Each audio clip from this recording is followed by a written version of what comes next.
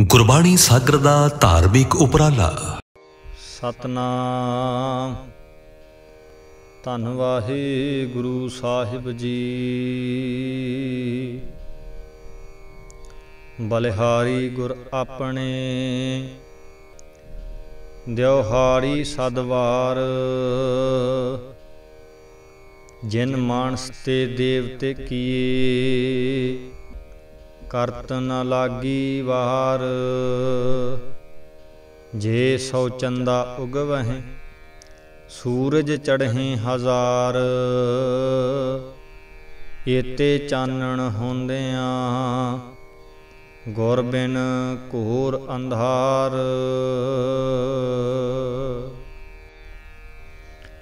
ਪਰਮ ਪੂਜੇ ਪਾਦ ਹਜ਼ੂਰ ਅਨਵਰ, ਜਾਤੇ ਬਾਬਰਕਾਤ ਫਖਰ ਮੌਜੂਦਾਤ ਮੁਜਸਮਾ ਸਿਫਤੋ ਸਾਫਾਤ ਹਸਤੀ ਮੁਕੱਦਸ ਕਾਦਰ ਮੁਤਲਕ ਸ਼ਾਹ ਏ ਖੁਬਾਂ, ਸਰਬੱਤ ਸ੍ਰਿਸ਼ਟੀ ਦੇ ਸਾਂਝੇ ਪਿਤਾ ਧੰਨ ਧੰਨ ਸ੍ਰੀ ਗੁਰੂ ਗ੍ਰੰਥ ਸਾਹਿਬ ਸੱਚੇ ਪਾਤਸ਼ਾਹ ਜੀ ਦੀ ਪਾਵਨ ਪਵਿੱਤਰ ਬਾਰਗਾਹ ਦੇ ਵਿੱਚ ਗੁਰਸੰਗਤ ਦੀਆਂ ਅਮੁੱਲ ਘੜੀਆਂ ਦੀ ਦਾਤ ਅਤੇ ਨਿਆਮਤ ਮੰਨਣ ਲਈ ਪਹੁੰਚੇ ਗੁਰਸਿੱਖ ਸਤਸੰਗੀ ਜਨੋ ਆਓ ਸ੍ਰੀ ਗੁਰੂ ਨਾਨਕ ਦੇਵ ਸਾਹਿਬ ਸੱਚੇ ਪਾਤਸ਼ਾਹ ਜੀ ਦੇ ਜੀਵਨ ਉੱਤੇ ਝਾਤ ਪਾਈਏ। ਸਭ ਤੋਂ ਪਹਿਲਾਂ ਗੁਰੂ ਬਖਸ਼ੀ ਫਤਿਹ ਪ੍ਰਵਾਨ ਕਰੋ। ਸਰਬੱਤ ਸੰਗਤ ਬਾ ਅਦ ਬਾ ਸਤਕਾਰ ਪਿਆਰ ਨਾਲ ਆਖੋ ਜੀ, ਵਾਹਿਗੁਰੂ ਜੀ ਕਾ ਖਾਲਸਾ, ਵਾਹਿਗੁਰੂ ਜੀ ਕੀ ਫਤਿਹ। ਜਦੋਂ ਅਸੀਂ ਸਿੱਖ ਸਰੋਤਾਂ ਨੂੰ ਪੜ੍ਹਦੇ ਹਾਂ, ਸਿੱਖ ਇਤਿਹਾਸ ਦੀਆਂ ਕਿਤਾਬਾਂ, ਪੁਸਤਕਾਂ, ਗ੍ਰੰਥਾਂ ਨੂੰ ਪੜ੍ਹਦੇ ਹਾਂ ਤੇ ਉਦੋਂ ਸਾਨੂੰ ਇਸ ਗੱਲ ਦੀ ਜਾਣਕਾਰੀ ਮਿਲਦੀ ਹੈ ਕਿ ਗੁਰੂ ਨਾਨਕ ਦੇਵ ਸਾਹਿਬ ਜੀ ਦੇ ਆਗਮਨ ਸਮੇਂ ਜਾਂ ਗੁਰੂ ਨਾਨਕ ਦੇਵ ਸਾਹਿਬ ਜੀ ਦੇ ਆਗਮਨ ਤੋਂ ਪਹਿਲਾਂ ਇਸ ਧਰਤੀ ਦੇ ਉੱਤੇ ਲੋਕਾਂ ਦਾ ਜੀਵਨ ਪੱਧਰ, ਲੋਕਾਂ ਦਾ ਖਾਣ ਪੀਣ, ਲੋਕਾਂ ਦੀ ਸੋਚਣ ਸ਼ਕਤੀ ਜਾਂ ਲੋਕਾਂ ਦੀ ਮੈਂਟਲੀ ਸਿਚੁਏਸ਼ਨ ਜਿਹੜੀ ਹੈ ਕਿਸ ਹਾਲਾਤ ਵਿੱਚ ਸੀ। ਭਾਈ ਗੁਰਦਾਸ ਜੀ ਦੀ ਬਾਣੀ ਚੋਂ ਸਾਨੂੰ ਰੈਫਰੈਂਸ ਮਿਲਦੇ ਹਨ ਗੁਰੂ ਨਾਨਕ ਦੇਵ ਸਾਹਿਬ ਜੀ ਨੇ ਖੁਦ ਵੀ ਉਹਨਾਂ ਹਾਲਾਤਾਂ ਦਾ ਜ਼ਿਕਰ ਕੀਤਾ ਸਾਧ ਸੰਗਤ ਜੀ ਜਿਨ੍ਹਾਂ ਸਮਿਆਂ ਦੇ ਵਿੱਚ ਗੁਰੂ ਨਾਨਕ ਦੇਵ ਸਾਹਿਬ ਜੀ ਦਾ ਆਗਮਨ ਹੁੰਦਾ ਹੈ ਉਹਨਾਂ ਸਮਿਆਂ ਦੇ ਵਿੱਚ ਸਾਧ ਸੰਗਤ ਜੀ ਰਾਜਨੀਤਿਕ ਲੋਕ ਜਿਹੜੇ ਸਨ ਉਹ ਵੀ ਆਪਣੇ ਫਰਜ਼ਾਂ ਤੋਂ ਆਪਣੇ اخلاق ਤੋਂ ਬਿਲਕੁਲ ਡਿੱਗ ਚੁੱਕੇ ਸਨ ਰਾਜਨੀਤਿਕ ਲੋਕਾਂ ਦੇ ਪੱਲੇ ਵੀ ਕੋਈ ਧਰਮ ਦਾ ਖੁਦਾ ਦਾ ਭਗਵਾਨ ਦਾ ਪਰਮੇਸ਼ਰ ਦਾ ਖੌਫ ਨਹੀਂ ਸੀ ਉਦੋਂ ਸਮਾਜਿਕ ਆਗੂ ਵੀ ਭਟਕ ਚੁੱਕਾ ਸੀ ਉਦੋਂ ਸਾਧ ਸੰਗਤ ਜੀ ਧਾਰਮਿਕ ਆਗੂ ਵੀ ਆਪਣੇ اخلاق ਤੋਂ ਬਿਲਕੁਲ ਗਿਰ ਡਿੱਗ ਚੁੱਕਾ ਸੀ ਜਿਹੜੇ ਮਨੁੱਖਤਾ ਦੇ ਆਗੂ ਲੋਕ ਸਨ ਧਾਰਮਿਕ ਲੋਕ ਸਮਾਜਿਕ ਆਗੂ ਲੋਕ ਰਾਜਨੀਤਿਕ ਲੋਕ ਨਿਆਂਕਾਰੀ ਲੋਕ ਕੋਈ ਅਹਿਲਕਾਰ, ਕੋਈ ਅਹੁਦੇਦਾਰ। ਹਰ ਇੱਕ ਅਹੁਦੇਦਾਰ, ਹਰ ਇੱਕ ਜ਼ਿੰਮੇਵਾਰ ਪਰਸਨ ਜਿਹੜਾ ਸੀ, ਉਹ ਆਪਣੇ ਹੱਕਾਂ, ਫਰਜ਼ਾਂ ਦੇ ਸਿਧਾਂਤ ਤੋਂ ਬਿਲਕੁਲ ਡਿੱਗ ਚੁੱਕਾ ਸੀ ਔਰ ਉਹਨਾਂ ਲੋਕਾਂ ਦੇ, ਉਹਨਾਂ ਧਾਰਮਿਕ, ਸਮਾਜਿਕ ਔਰ ਰਾਜਨੀਤਿਕ ਆਗੂ ਲੋਕਾਂ ਦੇ ਦਿਲ ਦੇ ਵਿੱਚ ਆਮ ਮਨੁੱਖਤਾ ਦਾ ਬਿਲਕੁਲ ਵੀ ਕੋਈ ਪਿਆਰ, ਕੋਈ ਤਰਸ, ਕੋਈ ਕਰੁਣਾ ਨਹੀਂ ਸੀ ਰਹਿ ਗਿਆ। ਭਾਈ ਗੁਰਦਾਸ ਜੀ ਨੇ ਵੀ ਇਸ ਗੱਲ ਦਾ ਜ਼ਿਕਰ ਕੀਤਾ ਕਿ ਜਦੋਂ ਸਾਰੀ ਖਲਕਤ ਤਰਾ ਤਰਾ ਕਰ ਉੱਠੀ, ਸਾਰੀ ਖਲਕਤ ਨੇ ਬਾਹਾਂ ਉੱਪਰ ਫੈਲਾ ਕੇ ਪਰਮੇਸ਼ਰ ਦੇ ਚਰਨਾਂ ਦੇ ਵਿੱਚ ਇਹ ਅਰਜ਼ ਗੁਜ਼ਾਰੀ ਕਿ ਸਾਨੂੰ ਬਚਾਉਣ ਵਾਲਾ ਤੇ ਇਹਨਾਂ ਭਟਕੇ ਹੋਏ ਲੋਕਾਂ ਨੂੰ ਸਮਝਾਉਣ ਵਾਲਾ ਕੋਈ ਰਹਿਬਰ ਜ਼ਰੂਰ ਭੇਜ ਤਾਂ ਗੁਰੂ ਗ੍ਰੰਥ ਸਾਹਿਬ ਜੀ ਦੀ ਬਾਣੀ ਪੜਨ ਵਾਲੇ ਸਤਸੰਗੀ ਜਨੋ, ਭਾਈ ਗੁਰਦਾਸ ਜੀ ਦੀਆਂ ਵਾਰਾਂ ਦਾ ਪਾਠ ਕਰਨ ਵਾਲੇ ਸਾਧ ਸੰਗਤ ਜੀ ਉਦੋਂ ਫਿਰ ਗੁਰੂ ਗ੍ਰੰਥ ਸਾਹਿਬ ਦੀ ਭਾਈ ਗੁਰਦਾਸ ਜੀ ਦੀ ਬਾਣੀ ਨੇ ਕਿਹਾ, ਜਦੋਂ ਕੋਈ ਖਲਕਤ, ਜਦੋਂ ਕੋਈ ਮਨੁੱਖਤਾ ਬਿਲਕੁਲ ਅੰਦਰ ਦੀ ਵੇਦਨਾ ਨਾਲ ਪਰਮੇਸ਼ਰ ਦੇ ਦਰ ਦੇ ਉੱਤੇ ਪੁਕਾਰ ਕਰਦੀ ਹੈ, ਉਦੋਂ ਫਿਰ ਉਹਨਾਂ ਦੀ ਪੁਕਾਰ ਧੁਰ ਅੰਦਰੋਂ ਨਿਕਲੀ ਹੋਈ ਹੂਕ ਪਰਮੇਸ਼ਰ ਦੇ ਦਰਵਾਜ਼ੇ ਦੇ ਉੱਤੇ ਪ੍ਰਵਾਨ ਹੋ ਜਾਂਦੀ ਹੈ। ਇਸੇ ਤਰ੍ਹਾਂ ਹੀ ਇੱਥੇ ਹੋਇਆ। ਜਦੋਂ ਅੰਦਰ ਦੀ ਵੇਦਨਾ, ਤੜਪ, ਕੀਨੇ ਦੇ ਨਾਲ ਹਰ ਇੱਕ ਦੱਬੇ ਕੁਚਲੇ ਮਜਨੂ ਮਨੁੱਖ ਨੇ ਇਹ ਅਰਦਾਸ ਕੀਤੀ ਵੀ ਸਾਡਾ ਸਹਾਰਾ ਭੇਜ, ਸਾਨੂੰ ਕੋਈ ਨਈਆ ਨਈਆਦਾਰ ਦੇ, ਜਿਸ ਦੀ ਨਈਆ ਵਿੱਚ ਬੈਠ ਕੇ ਅਸੀਂ ਵੀ ਕੋਈ ਜੀਵਨ ਦਾ ਆਨੰਦ ਮਾਣ ਸਕੀਏ। ਤਾਂ ਸੁਣੀ ਪੁਕਾਰ ਦਾਤਾਰ ਪ੍ਰਭ, ਗੁਰੂ ਨਾਨਕ ਜਗ ਮਾਹੀ ਪਠਾਇਆ। ਉਹਨਾਂ ਲੋਕਾਂ ਦੀ, ਉਹਨਾਂ ਮਜਲੂਮਾਂ ਦੀ ਅਰਦਾਸ ਪਰਮੇਸ਼ਰ ਦੇ ਦਰਵਾਜ਼ੇ ਤੇ ਸੁਣੀ ਗਈ ਤੇ ਗੁਰੂ ਨਾਨਕ ਦੇਵ ਸਾਹਿਬ ਜੀ ਨੂੰ ਅਕਾਲ ਪੁਰਖ ਨੇ ਆਪ ਪਠਾਇਆ, ਆਪ ਭੇਜਿਆ ਤਾਂ ਕਿ ਇਸ ਖਲਕਤ ਦੀ ਬਾਹ ਫੜ ਸਕਣ ਭੁੱਲੇ ਭਟਕੇ ਲੋਕਾਂ ਨੂੰ ਸਮਝਾ ਸਕਣ। ਸਾਰੇ ਤੁਸੀਂ ਇਤਿਹਾਸ ਤੋਂ ਵਾਕਿਫ ਹੋ। ਆਪਾਂ ਜ਼ਿਆਦਾ ਇਸ ਚੀਜ਼ ਦਾ ਵਿਸਥਾਰ ਨਹੀਂ ਕਰਨਾ ਹੈ। ਮੋਟੇ ਮੋਟੇ ਪੁਆਇੰਟਾਂ ਦੇ ਉੱਤੇ ਆਪਾਂ ਗੁਰੂ ਨਾਨਕ ਦੇਵ ਸਾਹਿਬ ਜੀ ਦੇ ਜੀਵਨ ਦੇ ਵਿੱਚੋਂ ਝਾਤ ਪਾਉਣੀ ਹੈ।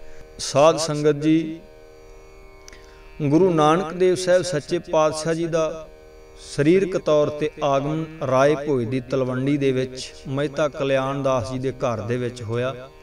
ਉਸ ਸਮੇਂ ਈਸਵੀ ਸਨ ਦੇ ਹਿਸਾਬ ਨਾਲ 1469 ਦਾ ਸਮਾਂ ਚੱਲ ਰਿਹਾ ਸੀ। ਗੁਰੂ ਨਾਨਕ ਦੇਵ ਸਾਹਿਬ ਜੀ ਨੇ ਜਦੋਂ ਇਸ ਪਵਿੱਤਰ ਧਰਤੀ ਦੇ ਉੱਤੇ ਅਵਤਾਰ ਧਾਰਿਆ, ਆਗਮਨ ਲਿਆ, ਜਨਮ ਲਿਆ, ਉਦੋਂ ਪੁਰਾਣਾ ਇਹ ਸਾਡੇ ਪਿੰਡਾਂ ਦਾ ਮਾਹੌਲ ਹੁੰਦਾ ਸੀ ਵੀ ਜਦੋਂ ਵੀ ਕੋਈ ਕੋਈ ਗਰਭਵਤੀ ਇਸਤਰੀ ਹੋਣੀ ਤਾਂ ਉਹਦੀ ਸੇਵਾ ਸੰਭਾਲ ਦੇ ਲਈ ਪਿੰਡ ਦੇ ਵਿੱਚ ਜਿਹਨੂੰ ਅਸੀਂ ਸ਼ਬਦ, ਸਾਧ ਸੰਗਤ ਜੀ ਦਾਈ ਵਰਤਦੇ ਹਾਂ। ਇਸ ਤਰ੍ਹਾਂ ਦੀ ਕੋਈ ਬੀਬੀ ਹੁੰਦੀ ਸੀ ਜਿਹੜੀ ਉਸ ਇਸਤਰੀ ਦੀ ਸਾਂਭ ਸੰਭਾਲਦੇ ਲਈ ਕੁਝ ਮਹੀਨੇ ਪਹਿਲਾਂ ਹੀ ਉਹਨਾਂ ਦੇ ਘਰ ਦੇ ਵਿੱਚ ਉਹਦੀ ਮੁੱਠੀ ਚਾਪੀ ਕਰਨ ਲਈ, ਉਹਦਾ ਭੋਜਨ ਪਕਾਉਣ ਲਈ, ਉਹਦੇ ਵਸਤਰ ਧੋਣ ਲਈ ਨਿਯੁਕਤ ਕਰ ਦਿੱਤੀ ਜਾਂਦੀ ਸੀ।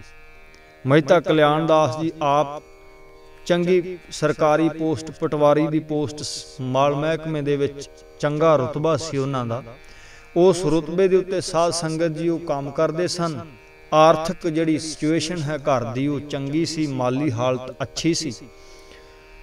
ਇਸ ਪਿੰਡ ਦੇ ਵਿੱਚ ਜਦੋਂ ਮਾਤਾ ਜੀ ਗਰਭਵਤੀ ਹੋਏ, ਉਹਨਾਂ ਦੇ ਗਰਭ ਵਿੱਚ ਗੁਰੂ ਨਾਨਕ ਦੇਵ ਸਾਹਿਬ ਜੀ ਦਾ ਸਰੀਰ ਜਿਹੜਾ ਆ ਕੇ ਟਿਕ ਚੁੱਕਿਆ ਹੈ, ਉਹਨਾਂ ਨੇ ਜਨਮ ਲੈਣਾ ਹੈ। ਉਹਦੇ ਤੋਂ ਪਹਿਲਾਂ ਮਾਤਾ ਜੀ ਦੇ ਸਾਮ ਸੰਭਾਲ ਦੇ ਲਈ ਇੱਕ ਪਿੰਡ ਦੇ ਵਿੱਚ ਰਹਿਣ ਵਾਲੀ ਦਾਈ ਦਾ ਜਿਹੜਾ ਹੈ, ਉਹ ਡਿਊਟੀ ਲੱਗੀ, ਉਹਨਾਂ ਦੀ ਨਿਯੁਕਤੀ ਕੀਤੀ ਗਈ। ਉਹਦਾ ਨਾਮ ਇਤਿਹਾਸ ਨੇ ਸਾਧ ਸੰਗਤ ਜੀ ਦੌਲਤਾਂ ਦੱਸਿਆ ਹੈ। ਦੌਲਤਾਂ ਕੁਝ ਮਹੀਨੇ ਪਹਿਲਾਂ ਮਾਤਾ ਜੀ ਦੀ ਸਾਂਭ ਸੰਭਾਲ ਦੇ ਲਈ ਰੋਜ਼ਾਨਾ ਰੁਟੀਨ ਵਿੱਚ ਸਵੇਰੇ ਸ਼ਾਮ ਘਰ ਦੇ ਵਿੱਚ ਆਉਂਦੀ ਹੈ। ਘਰ ਦੇ ਵਿੱਚ ਆ ਕੇ ਜਦੋਂ ਮਾਤਾ ਜੀ ਦੀ ਸਾਂਭ ਸੰਭਾਲ ਕਰਦੀ ਹੈ, ਤੇ ਕੁਦਰਤੀ ਬਾਤ ਹੈ ਸਾਧ ਸੰਗਤ ਜੀ, ਜਿਹੜਾ ਕੋਈ ਆਰਥਿਕ ਪੱਖ ਤੋਂ ਥੋੜਾ ਜਿਹਾ ਊਣਾ ਜਾਂ ਹੀਣਾ ਬੰਦਾ ਉਹ ਆਮ ਤੌਰ ਤੇ ਪਰਮੇਸ਼ਰ ਦੀ ਉੱਪਰ ਆਸਵੰਦ ਘੱਟ ਹੁੰਦਾ ਹੈ, ਜਿਹਦੀ ਚੌਖਟ ਤੇ ਜਾ ਕੇ ਉਹ ਕਿਸੇ ਦਾ ਰੋਟੀ ਪਾਣੀ ਕਰਦਾ ਹੈ। ਉਹਦਿਆਂ ਹੱਥਾਂ ਵੱਲੋਂ ਜ਼ਿਆਦਾ ਵੇਖਦਾ। ਹੈ ਬੀਬੀ ਦੌਲਤਾਂ ਦਾ ਜੀਵਨ ਹੀ ਇਸ ਢਾਂਚੇ ਦੇ ਵਿੱਚ ਢਲ ਚੁੱਕਿਆ ਸੀ ਵੀ ਉਹ ਕਿਸੇ ਵੀ ਘਰ ਦੇ ਵਿੱਚ ਜਾਂਦੀ, ਕੋਈ ਪੁੱਤਰ ਧੀ ਦਾ ਪਦਾਇਸ਼ ਹੁੰਦੀ ਤੇ ਉਹ ਪਹਿਲਾਂ ਹੀ ਉਸ ਪਰਿਵਾਰ ਨੂੰ ਇਸ ਤਰੀਕੇ ਦੇ ਨਾਲ ਤਿਆਰ ਕਰਨ ਲੱਗ ਜਾਂਦੀ ਵੀ ਤੇਰੇ ਘਰ ਦੇ ਵਿੱਚ ਪੁੱਤਰ ਧੀ ਹੋਏਗਾ। ਜਦੋਂ ਵੀ ਪੁੱਤਰ ਧੀ ਦੀ ਪੈਦਾਇਸ਼ ਹੋਈ, ਵਾਹਿਗੁਰੂ ਕਿਰਪਾ ਕਰੇ, ਅੱਲਾਹ ਤਾਲਾ ਮਿਹਰ ਕਰੇ, ਰਹਿਮ ਕਰੇ ਤੇਰੇ ਘਰ ਦੇ ਵਿੱਚ ਪੁੱਤਰ ਦਾ ਆਗਮਨ ਹੋਵੇ ਤੂੰ ਮੈਨੂੰ ਧਨ ਦੇਈ, ਤੂੰ ਮੈਨੂੰ ਕੱਪੜਾ ਦੇਈ, ਤੂੰ ਮੈਨੂੰ ਅਨਾਜ ਦੇਈ, ਤੂੰ ਮੈਨੂੰ ਭਾਂਡਾ ਛੰਨਾ ਦੇਈ, ਤਾਂ ਕਿ ਮੇਰੇ ਘਰ ਦੀ ਗਰੀਬੀ ਕੱਜੀ ਜਾਏ। ਵਾਹਿਗੁਰੂ ਰਹਿਮ ਕਰੇ ਤੇਰੇ ਘਰ ਦਾ ਚਿਰਾਗ, ਕੋਈ ਪੁੱਤਰ ਬਣ ਕੇ ਤੇਰੇ ਘਰ ਵਿੱਚ ਪੈਦਾ ਹੋਵੇ ਇਸੇ ਤਰ੍ਹਾਂ ਦਾ ਨੇਚਰ ਬੀਬੀ ਦੌਲਤਾਂ ਦਾ ਬਣ ਚੁੱਕਿਆ ਹੈ।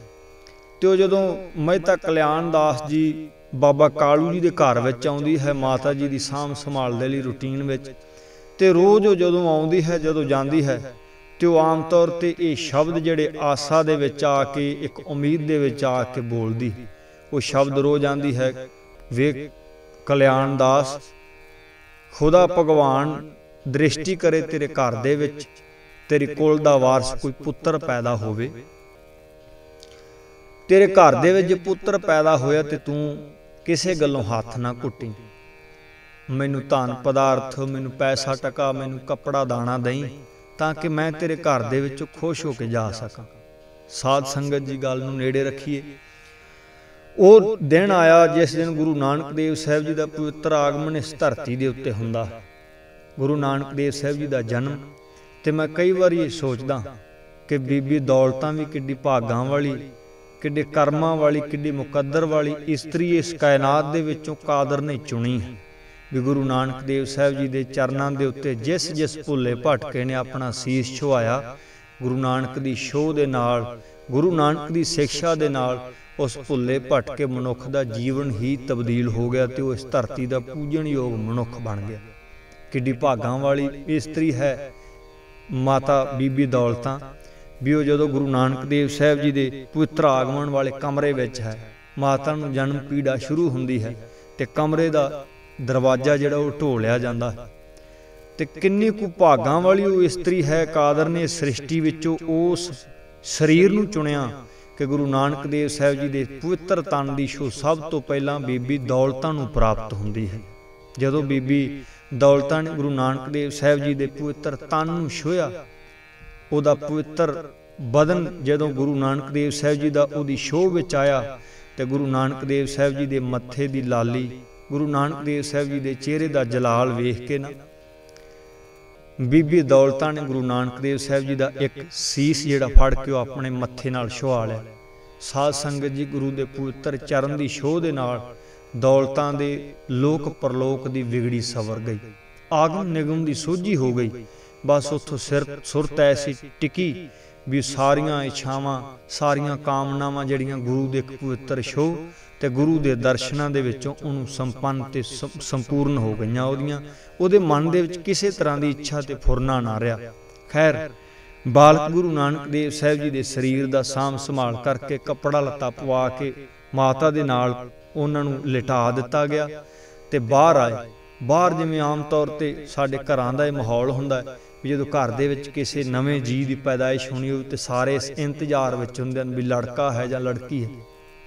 ਜਦੋਂ ਦਰਵਾਜ਼ਾ ਖੁੱਲਿਆ ਇੱਕ ਉਮੀਦ ਦੀ ਨਜ਼ਰ ਦੇ ਨਾਲ ਮਹਿਤਾ ਕਲਿਆਣ ਦਾਸ ਜੀ ਨੇ ਬੀਬੀ ਤ੍ਰਿਪਤਾ ਵੱਲ ਵੇਖਿਆ ਤੇ ਬੀਬੀ ਤ੍ਰਿਪਤਾ ਦੇ ਚਿਹਰੇ ਦੀ ਮੁਸਕਰਾਹਟ ਤੇ ਉਹਦੇ ਸਰੀਰ ਦੇ ਤੁਰਨ ਫਿਰਨ ਖੜੋਣ ਦੀ ਭਾਸ਼ਾ ਨੇ ਦੱਸ ਦਿੱਤਾ ਵੀ ਘਰ ਦੇ ਵਿੱਚ ਜ਼ਰੂਰ ਲੜਕਾ ਪੈਦਾ ਹੋਇਆ। ਮਹਿਤਾ ਕਲਿਆਣ ਦਾਸ ਜੀ ਨੇ ਪੁੱਛਿਆ ਵੀ ਕੀ ਪੈਦਾ ਹੋਇਆ?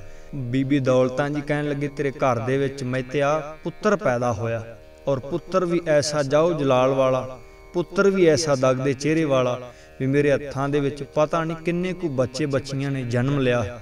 ਪਰ ਇਸ ਤਰ੍ਹਾਂ ਦਾ ਪੁੱਤਰ ਜਿਹੜਾ ਕਿਸੇ ਦੇ ਘਰ ਵਿੱਚ ਨਾ ਮੈਂ ਪੈਦਾ ਹੋਇਆ ਵੇਖਿਆ ਹੈ ਤੇ ਮੈਂ ਉਮੀਦ ਕਰਦੀ ਹਾਂ ਵੀ ਇਸ ਤਰ੍ਹਾਂ ਦਾ ਪੁੱਤਰ ਗਾਂ ਵੀ ਕਿਸੇ ਦੇ ਘਰ ਵਿੱਚ ਮੇਰੇ ਹੱਥਾਂ ਵਿੱਚ ਜਨਮ ਨਹੀਂ ਲਵੇਗਾ, ਜਿਹੜਾ ਪੁੱਤਰ ਤੇਰੇ ਘਰ ਦੇ ਵਿੱਚ ਪੈਦਾ ਹੋਇਆ।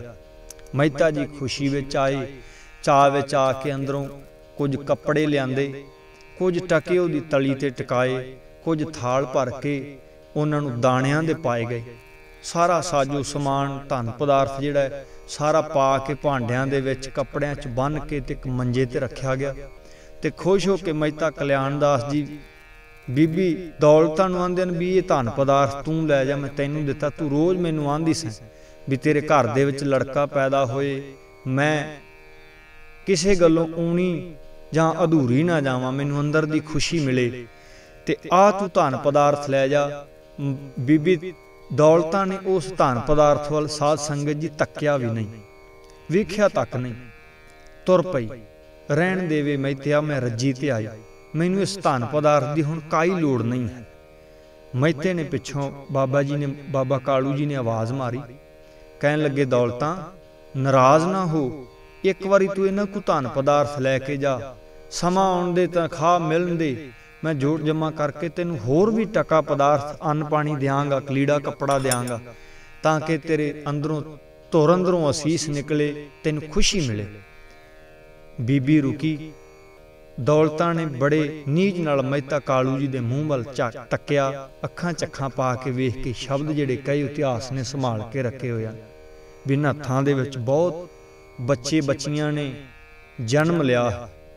ਪਰ ਤੇਰੇ ਪੁੱਤਰ ਨੇ ਐਸਾ ਇਹਨਾਂ ਹੱਥਾਂ ਵਿੱਚ ਜਨਮ ਲਿਆ। ਤੇਰੇ ਪਵਿੱਤਰ ਦੇ, ਤੇਰੇ ਪੁੱਤਰ ਦੇ ਪਵਿੱਤਰ ਬਦਨ ਦੀ ਐਸੀ ਸ਼ੋਅ ਇਹਨਾਂ ਹੱਥਾਂ ਦੇ ਨਾਲ ਹੋਈ। ਉਹਦੇ ਚਰਨ ਦਾ ਐਸਾ ਸਪਰਸ਼ ਮੇਰੇ ਮਸਤਕ ਨਾਲ ਹੋਇਆ ਵੀ ਮੇਰਾ ਘਰਦਿਆਂ ਨੇ ਨਾਮ ਦੌਲਤਾਂ ਰੱਖਿਆ ਸੀ। ਬਚਪਨ ਤੋਂ ਲੈ ਕੇ ਜਨਮ ਤੋਂ ਲੈ ਕੇ ਅੱਜ ਤੱਕ ਕਿੰਨੀ ਉਮਰ ਮੈਂ ਭੋਗ ਲਈ ਹੈ। ਬੜੇ ਲੋਕਾਂ ਦੇ ਘਰ ਵਿੱਚ ਗਈ, ਬੜਾ ਧਨ ਪਦਾਰਥ ਦਿੱਤਾ ਲੋਕਾਂ ਨੇ। ਮਾਤਾ ਪਿਤਾ ਨੇ ਰੱਖਿਆ ਨਾਮ ਦੌਲਤਾਂ। ਭਾਵੇਂ ਘਰ ਦੇ ਵਿੱਚ ਦੋ ਟਾਈਮ ਦੀ ਰੋਟੀ ਬੜੀ ਮੁਸ਼ਕਲ ਨਾਲ ਚੱਲਦਾ ਹੈ ਗੁਜ਼ਾਰਾ, ਪਰ ਮੈਂ ਤਿਆ ਮੈਨੂੰ ਲੋਕਾਂ ਨੇ ਦੌਲਤਾਂ ਕਹਿ ਕੇ ਆਵਾਜ਼ ਮਾਰੀ। ਧਿਆਨ ਕਰੀ, ਮੇਰਾ ਨਾਮ ਕੁਝ ਹੈ, ਪਰ ਮੇਰੇ ਅੰਦਰ ਦੀ ਤੇ ਮੇਰੇ ਬਾਹਰ ਦੀ ਜੀਵਨੀ ਹੋਰ ਹੈ। ਨਾਮ ਭਾਵੇਂ ਮਾਤਾ ਪਿਤਾ ਨੇ ਦੌਲਤਾਂ ਰੱਖਿਆ ਹੈ, ਪਰ ਅੰਦਰੋਂ ਵੀ ਕੰਗਾਲ ਹਾਂ। ਬਾਹਰੀ ਤੌਰ ਤੇ ਵੀ ਧਨ ਪਦਾਰਥ ਤੋਂ ਊਣੀ ਹਾਂ।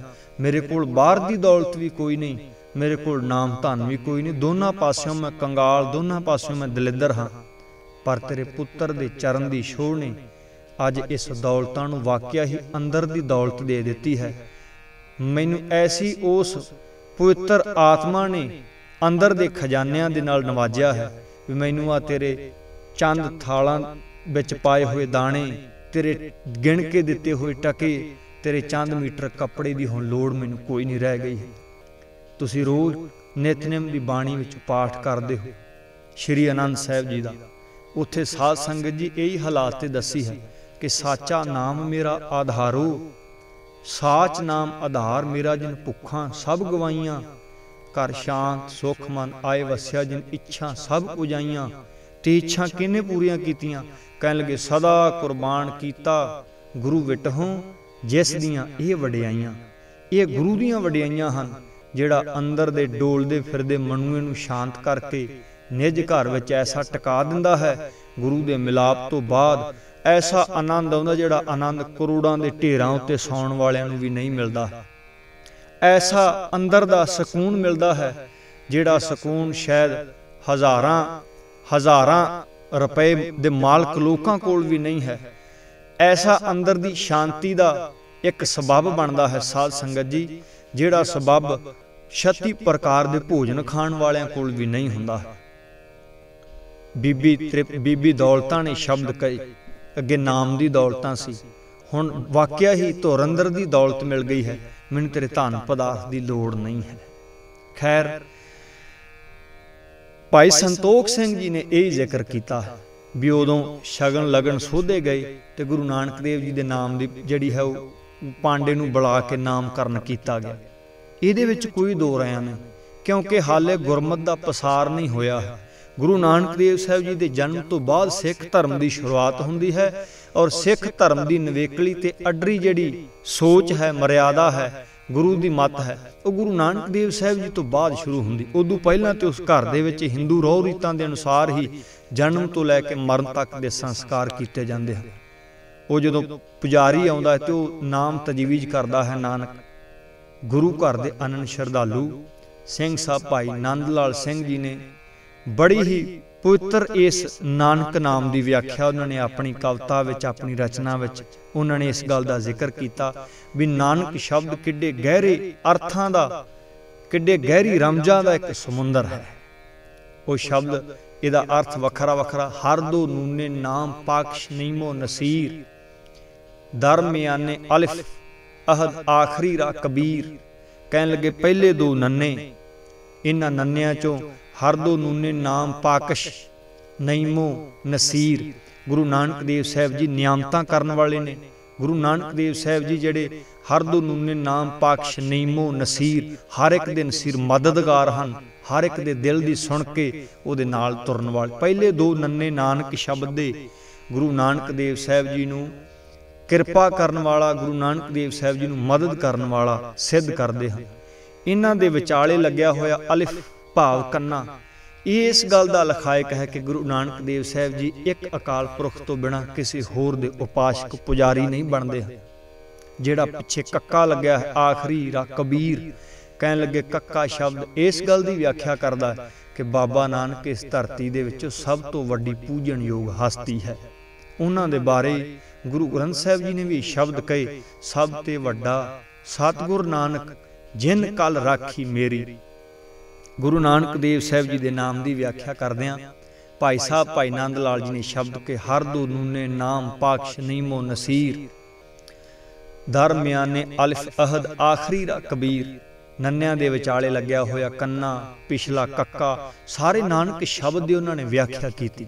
ਖੈਰ ਪਿਤਾ ਦੇ ਵਿਹੜੇ ਵਿੱਚ ਮਾਤਾ ਦੇ ਪਵਿੱਤਰ ਅੰਮ੍ਰਿਤ ਦੁੱਧ ਨੂੰ ਪੀਂਦਿਆਂ ਨਾਮ ਵਿੱਚ ਸੁਰਤ ਜੋੜ ਕੇ ਰੱਖਦਿਆਂ ਥੋੜੇ ਜਿਹਾ ਵੱਡੇ ਹੋਏ। ਘਰ ਦੇ ਵਿੱਚ ਪਹਿਲਾਂ ਹੀ ਇੱਕ ਧੀ ਹੈ। ਘਰ ਦੇ ਵਿੱਚ ਪਹਿਲਾਂ ਹੀ ਇੱਕ ਬੱਚੀ ਹੈ। ਉਹਦਾ ਨਾਮ ਵੀ ਘਰਦਿਆਂ ਨੇ ਨਾਨਕੀ ਰੱਖਿਆ ਹੋਇਆ ਹੈ। ਘਰ ਦੇ ਵਿੱਚ ਦੂਸਰੇ ਬੱਚੇ ਦੀ ਪਦਾਇਸ਼ ਲੜਕੇ ਦੀ ਹੋਈ ਹੈ।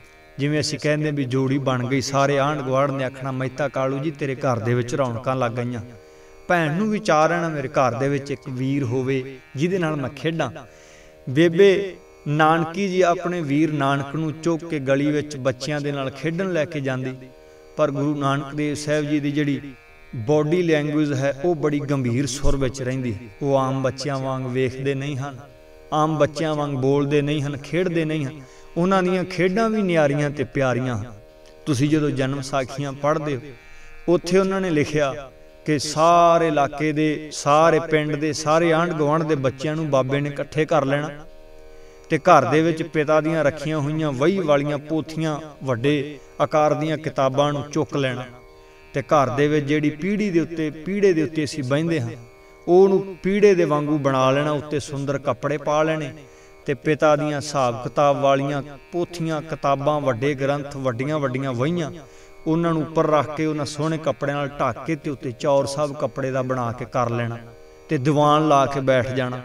ਬੜੀ ਬੜੀ ਸਿਆਣੀ ਗੱਲ ਕਰਨੀ ਜਦੋਂ ਕਰਨ। ਵੱਡੇ ਵੱਡੇ ਲੋਕ ਜਿਹੜੇ ਉਸ ਗੱਲ ਨੂੰ ਸੁਣ ਕੇ ਸੋਚਦੇ ਰਹਿ ਜਾ। ਆਂਡ ਗਵਾਂਡ ਨੇ ਮਹਿਤਾ ਕਾਲੂ ਜੀ ਨੂੰ ਕਹਿਣਾ ਸ਼ੁਰੂ ਕਰ ਦਿੱਤਾ ਕਿ ਬਾਬਾ ਤੇਰੇ ਘਰ ਵਿੱਚ ਪੁੱਤਰ ਨਹੀਂ, ਤੇਰੇ ਘਰ ਦੇ ਵਿੱਚ ਕੋਈ ਬਜ਼ੁਰਗ ਪੈਦਾ ਹੋ ਗਿਆ। ਈਰਾਨ ਦਾ ਇੱਕ ਸੂਫੀ ਫਕੀਰ ਹੈ ਸਾਧ ਸੰਗਤ ਜੀ। ਉਹਨੇ ਬੜੀ ਕਮਾਲ ਦੀ ਵਿਆਖਿਆ ਕੀਤੀ ਹੈ ਇਸ ਗੱਲ ਦੀ। ਉਹਨਾਂ ਦਾ ਇੱਕ ਸਾਧ ਸੰਗਤ ਜੀ ਫਾਰਸੀ ਦੇ ਵਿੱਚ ਇੱਕ ਸ਼ੇਰ ਹੈ। ਉਹ ਆਂਦੇ ਨੇ, ਬਜ਼ੁਰਗੀ ਬਾ ਅਕਲ ਅਸਤ ਨਾ ਕੇ ਬਾ ਸਾਲ, ਤਵਰੰਗੀ ਬਾ ਦਿਲ ਅਸਤ ਨਾ ਕੇ ਬਾ ਮਾਲ। ਅਮੀਰੀ ਜਿਹੜੀ ਉਹ ਪੈਸੇ ਦਾ ਨਾਮ ਨਹੀਂ ਹੈ। ਅਮੀਰੀ ਸਾਧ ਸੰਗਤ ਜੀ ਖੁੱਲੇ ਤੇ ਵਿਸ਼ਾਲ ਦਿਲ ਦਾ ਨਾਮ ਹੈ। ਤੁਸੀਂ ਵੇਖਦੇ ਹੋ 100-100 ਕਿਲੇ ਦੇ ਮਾਲਕ ਵੀ ਕਈ ਵਾਰੀ ਐਡੇ ਸੂਮ, ਐਡੇ ਹੱਥ ਘੁੱਟਣ ਵਾਲੇ, ਐਡੇ ਕੰਜੂਸ ਬਣ ਜਾਂਦੇ ਹਨ।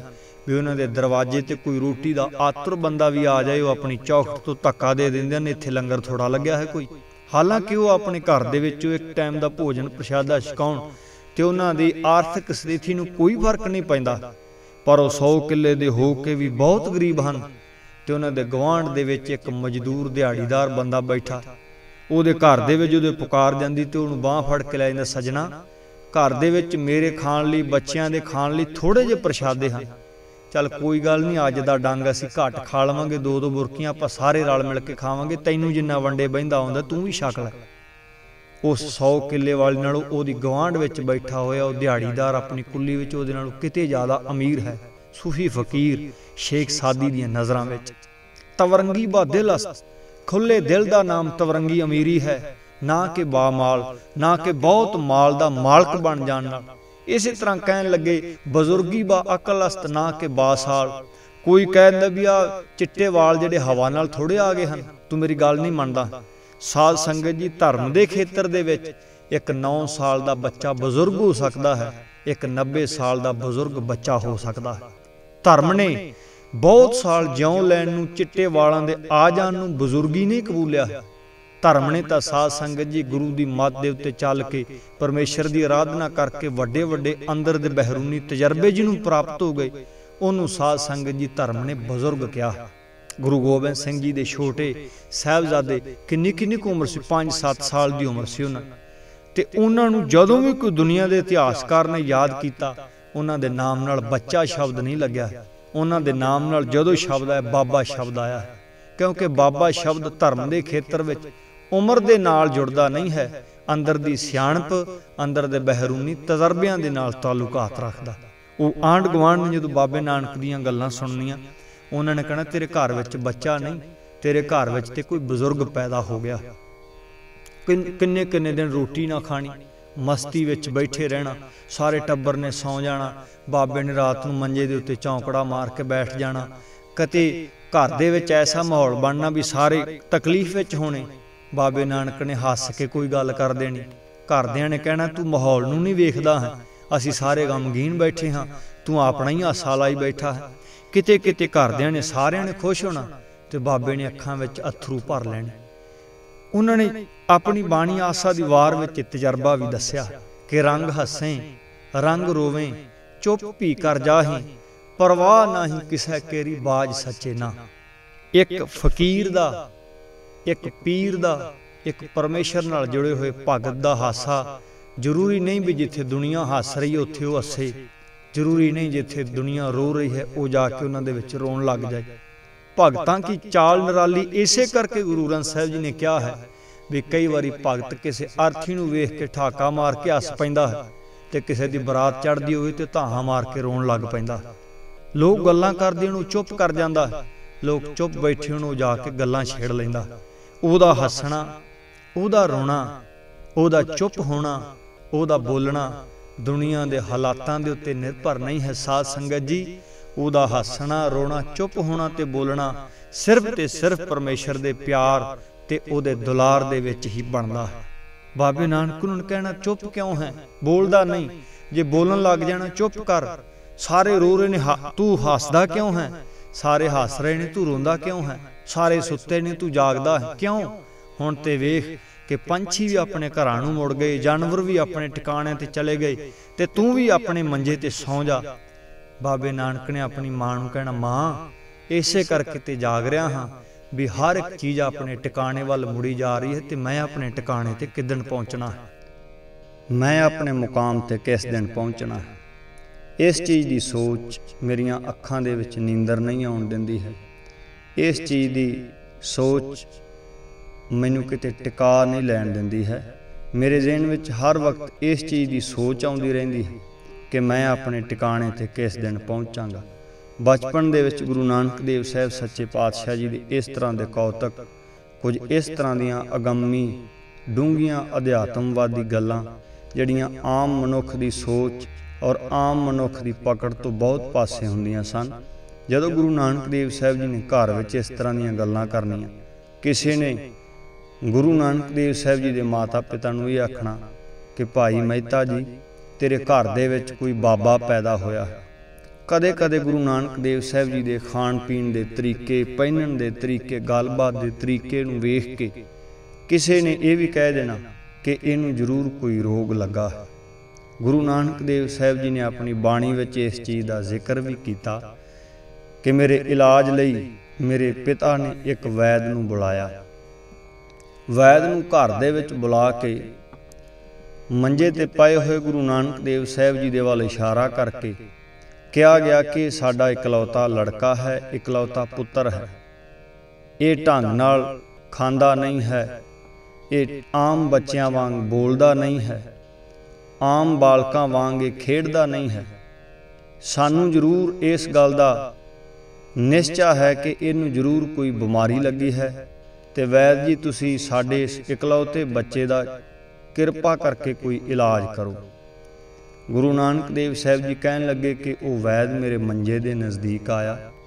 ਜਿਵੇਂ ਪੁਰਾਣੇ ਤੋਂ ਸਮੇਂ ਤੋਂ ਲੈ ਕੇ ਅੱਜ ਦੇ ਸਮੇਂ ਤੱਕ ਕੁਝ ਵੈਦ ਹਕੀਮਾਂ ਦਾ ਇਹ ਤਜਰਬਾ ਹੁੰਦਾ ਵੀ ਉਹ ਮਨੁੱਖ ਦੀ ਨਬਜ਼ ਨੂੰ ਟਟੋਲ ਕੇ, ਉਹਦੀ ਨਬਜ਼ ਨੂੰ ਦੇਖ ਕੇ ਉਹਦੇ ਮਰਜ਼ ਦੀ, ਉਹਦੇ ਰੋਗ ਦੀ ਪਹਿਚਾਣ ਕਰਨ ਦਾ ਦਾਵਾ ਰੱਖਦੇ ਹਨ। ਸਾਧ ਸੰਗਤ ਜੀ, ਉਸ ਵੈਦ ਨੇ ਆ ਕੇ ਗੁਰੂ ਨਾਨਕ ਦੇਵ ਸਾਹਿਬ ਜੀ ਦੀ ਨਬਜ਼ ਨੂੰ ਬਾਹ ਨੂੰ ਫੜ ਕੇ ਤੇ ਨਬਜ਼ ਨੂੰ ਚੈੱਕ ਕਰਨਾ ਸ਼ੁਰੂ ਕੀਤਾ ਤੇ ਗੁਰੂ ਨਾਨਕ ਦੇਵ ਸਾਹਿਬ ਜੀ ਨੇ ਆਪਣਾ ਹੱਥ ਉਸ ਵੈਦ ਤੋਂ ਛੁਡਾ ਲਿਆ। ਗੁਰੂ ਨਾਨਕ ਦੇਵ ਸਾਹਿਬ ਜੀ ਨੂੰ ਵੈਦ ਕਹਿਣ ਲੱਗਾ ਕਿ ਬੇਟਾ ਤੂੰ ਆਪਣੀ ਨਬਜ਼ ਦਿਖਾਏਗਾ ਤੇ ਤਾਂ ਹੀ ਮੈਂ ਤੇਰਾ ਰੋਗ ਫੜਾਂਗਾ। ਗੁਰੂ ਨਾਨਕ ਦੇਵ ਸਾਹਿਬ ਜੀ ਕਹਿਣ ਲੱਗੇ ਕਿ ਵੈਦ ਜੀ, ਅਸਲ ਦੇ ਵਿੱਚ ਰੋਗ ਸਰੀਰ ਵਿੱਚ ਨਹੀਂ ਹੈ, ਰੋਗ ਮੇਰੇ ਹਿਰਦੇ ਦੇ ਵਿੱਚ ਹੈ। ਨਬਜ਼ ਦੀ ਰਿਦਮ ਨੂੰ ਵੇਖ ਕੇ, ਨਬਜ਼ ਦੀ ਚਾਲ ਨੂੰ ਵੇਖ ਕੇ ਮੇਰੇ ਸਰੀਰ ਦਾ ਚੈੱਕਅਪ ਕਰਨ ਤੋਂ ਬਾਅਦ ਤੁਸੀਂ ਕਿਸ ਤਰ੍ਹਾਂ ਇਸ ਚੀਜ਼ ਦੇ ਨਤੀਜੇ ਤੇ ਪਹੁੰਚੋਗੇ ਕਿ ਮੈਨੂੰ ਕੀ ਰੋਗ ਹੈ, ਜਦੋਂ ਸਰੀਰ ਵਿੱਚ ਰੋਗ ਹੈ ਹੀ ਕੋਈ ਨਹੀਂ ਹੈ। ਵੈਦ ਨੇ ਗੁਰੂ ਨਾਨਕ ਦੇਵ ਸਾਹਿਬ ਜੀ ਦੀ ਇਸ ਤਰ੍ਹਾਂ ਦੀ ਗੱਲਬਾਤ ਨੂੰ ਜਦੋਂ ਸੁਣਿਆ ਤੇ ਸਿਆਣਾ ਵੈਦ ਥੋੜਾ ਜਿਹਾ ਸਮਝ ਗਿਆ ਕਿ ਮਾਜ਼ਰਾ ਕੋਈ ਹੋਰ ਹੈ। ਗੁਰੂ ਨਾਨਕ ਦੇਵ ਸਾਹਿਬ ਜੀ ਨੇ ਵੀ ਬਾਣੀ ਵਿੱਚ ਇਹ ਕਥਨ ਕੀਤਾ ਕਿ ਵੈਦ ਬੁਲਾਇਆ ਵੈਦਗੀ, ਪਕੜ ਟੰਡੋਲੇ ਬਾਹ, ਭੋਲਾ ਵੈਦ ਨਾ ਜਾਣਈ, ਕਰਕ ਕਰੇ ਜੇ ਮਾਹੀ। ਕਿ ਉਸ ਅਣਜਾਣ ਵੈਦ ਨੂੰ ਜਿਹੜਾ ਸਿਰਫ ਸਰੀਰਾਂ ਦੇ ਰੋਗ ਬੁੱਝਣਾ ਜਾਣਦਾ ਹੈ, ਉਹਨੂੰ ਇਸ ਗੱਲ ਦਾ ਇਲਮ ਨਹੀਂ ਹੈ ਕਿ ਸਰੀਰ ਤੋਂ ਰੋਗ ਅੱਗੇ ਲੰਘ ਕੇ ਹਿਰਦੇ ਵਿੱਚ ਜਾ ਚੁੱਕਾ ਹੈ। ਇਹ ਰੋਗ ਹੁਣ ਪਰਮੇਸ਼ਰ ਦੇ ਵਿਜੋਗ ਤੇ ਉਹਦੇ ਮਿਲਾਪ ਦੀ ਤੜਪ ਹੈ। ਵੈਦ ਨੇ ਵੀ ਗੁਰੂ ਨਾਨਕ ਦੇਵ ਸਾਹਿਬ ਜੀ ਤੋਂ ਉਪਦੇਸ਼ ਲਿਆ। ਗੁਰੂ ਨਾਨਕ ਦੇਵ ਸਾਹਿਬ ਜੀ ਨੇ ਉਹਨੂੰ ਵੀ ਸਮਝਾਇਆ ਕਿ ਸਿਆਣਾ ਵੈਦ ਉਹ ਹੁੰਦਾ ਹੈ ਜਿਹੜਾ ਰੋਗ ਵੀ ਜਾਣਦਾ ਹੋਵੇ ਤੇ ਉਸ ਰੋਗ ਦੇ ਟ੍ਰੀਟਮੈਂਟ ਲਈ ਇਲਾਜ ਤੇ ਉਹਦੀ ਦਵਾਈ ਬੂਟੀ ਦਾ ਵੀ ਉਹਨੂੰ ਇਲਮ ਹੋਵੇ। ਕੱਲਾ ਰੋਗ ਬਾਰੇ ਦੱਸ ਦੇਣਾ ਤੇ ਦਵਾਈ ਦਾ ਉਹਦੇ ਇਲਾਜ ਦਾ ਢੰਗ ਨਾ ਆਉਂਦਾ ਹੋਵੇ, ਉਹ ਸਿਆਣਾ ਵੈਦ ਨਹੀਂ ਹੈ। ਇਸੇ ਤਰ੍ਹਾਂ ਹੀ ਸਾਧ ਸੰਗਤ ਜੀ, ਕੋਈ ਲੋਕ ਦਵਾਈਆਂ ਬੜੀਆਂ ਦੱਸਦੇ ਨੇ, ਜਿਵੇਂ ਅਸੀਂ ਪੰਜਾਬ ਦੇ ਕਲਚਰ ਨੂੰ, ਪੰਜਾਬ ਦੇ ਮਾਹੌਲ ਨੂੰ ਦੇਖਦੇ ਹਾਂ।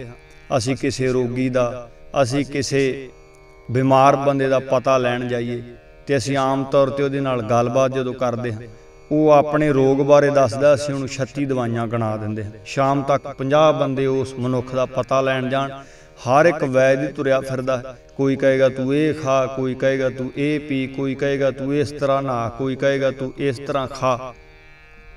ਸਾਧ ਸੰਗਤ ਜੀ, ਗੁਰੂ ਨਾਨਕ ਦੇਵ ਸਾਹਿਬ ਜੀ ਨੇ ਕਿਹਾ ਕਿ ਸਿਆਣਾ ਵੈਦ, ਸਿਆਣਾ ਹਕੀਮ, ਸਿਆਣਾ ਡਾਕਟਰ ਉਹ ਹੈ ਜਿਹੜਾ ਅਸਲ ਦੇ ਵਿੱਚ ਕੱਲੀ ਦਵਾਈ ਦੀ ਵਿਆਖਿਆ ਨਾ ਕਰਨੀ ਜਾਣਦਾ ਹੋਵੇ ਦਵਾਈ ਦੇ ਨਾਲ ਨਾਲ ਉਹਨੂੰ ਸਾਧ ਸੰਗਤ ਜੀ ਰੋਗ ਦੀ ਮਰਜ਼ ਦੀ ਵੀ ਪਹਿਚਾਣ ਹੋਵੇ ਤੇ ਕੱਲਾ ਮਰਜ਼ ਨੂੰ ਸਿਆਣਨ ਵਾਲਾ, ਦਵਾਈ ਦਾ ਇਲਮ ਨਾ ਰੱਖਣ ਵਾਲਾ ਵੈਦ ਵੀ ਸਿਆਣਾ ਵੈਦ ਨਹੀਂ ਰੋਗ दारू ਦੋਵੇਂ ਬੁੱਝੈ, ਤਾਂ ਤੂੰ ਵੈਦ ਸੁਜਾਨ ਤਾਂ ਤੂੰ ਸਿਆਣਾ ਵੈਦ ਹੈ।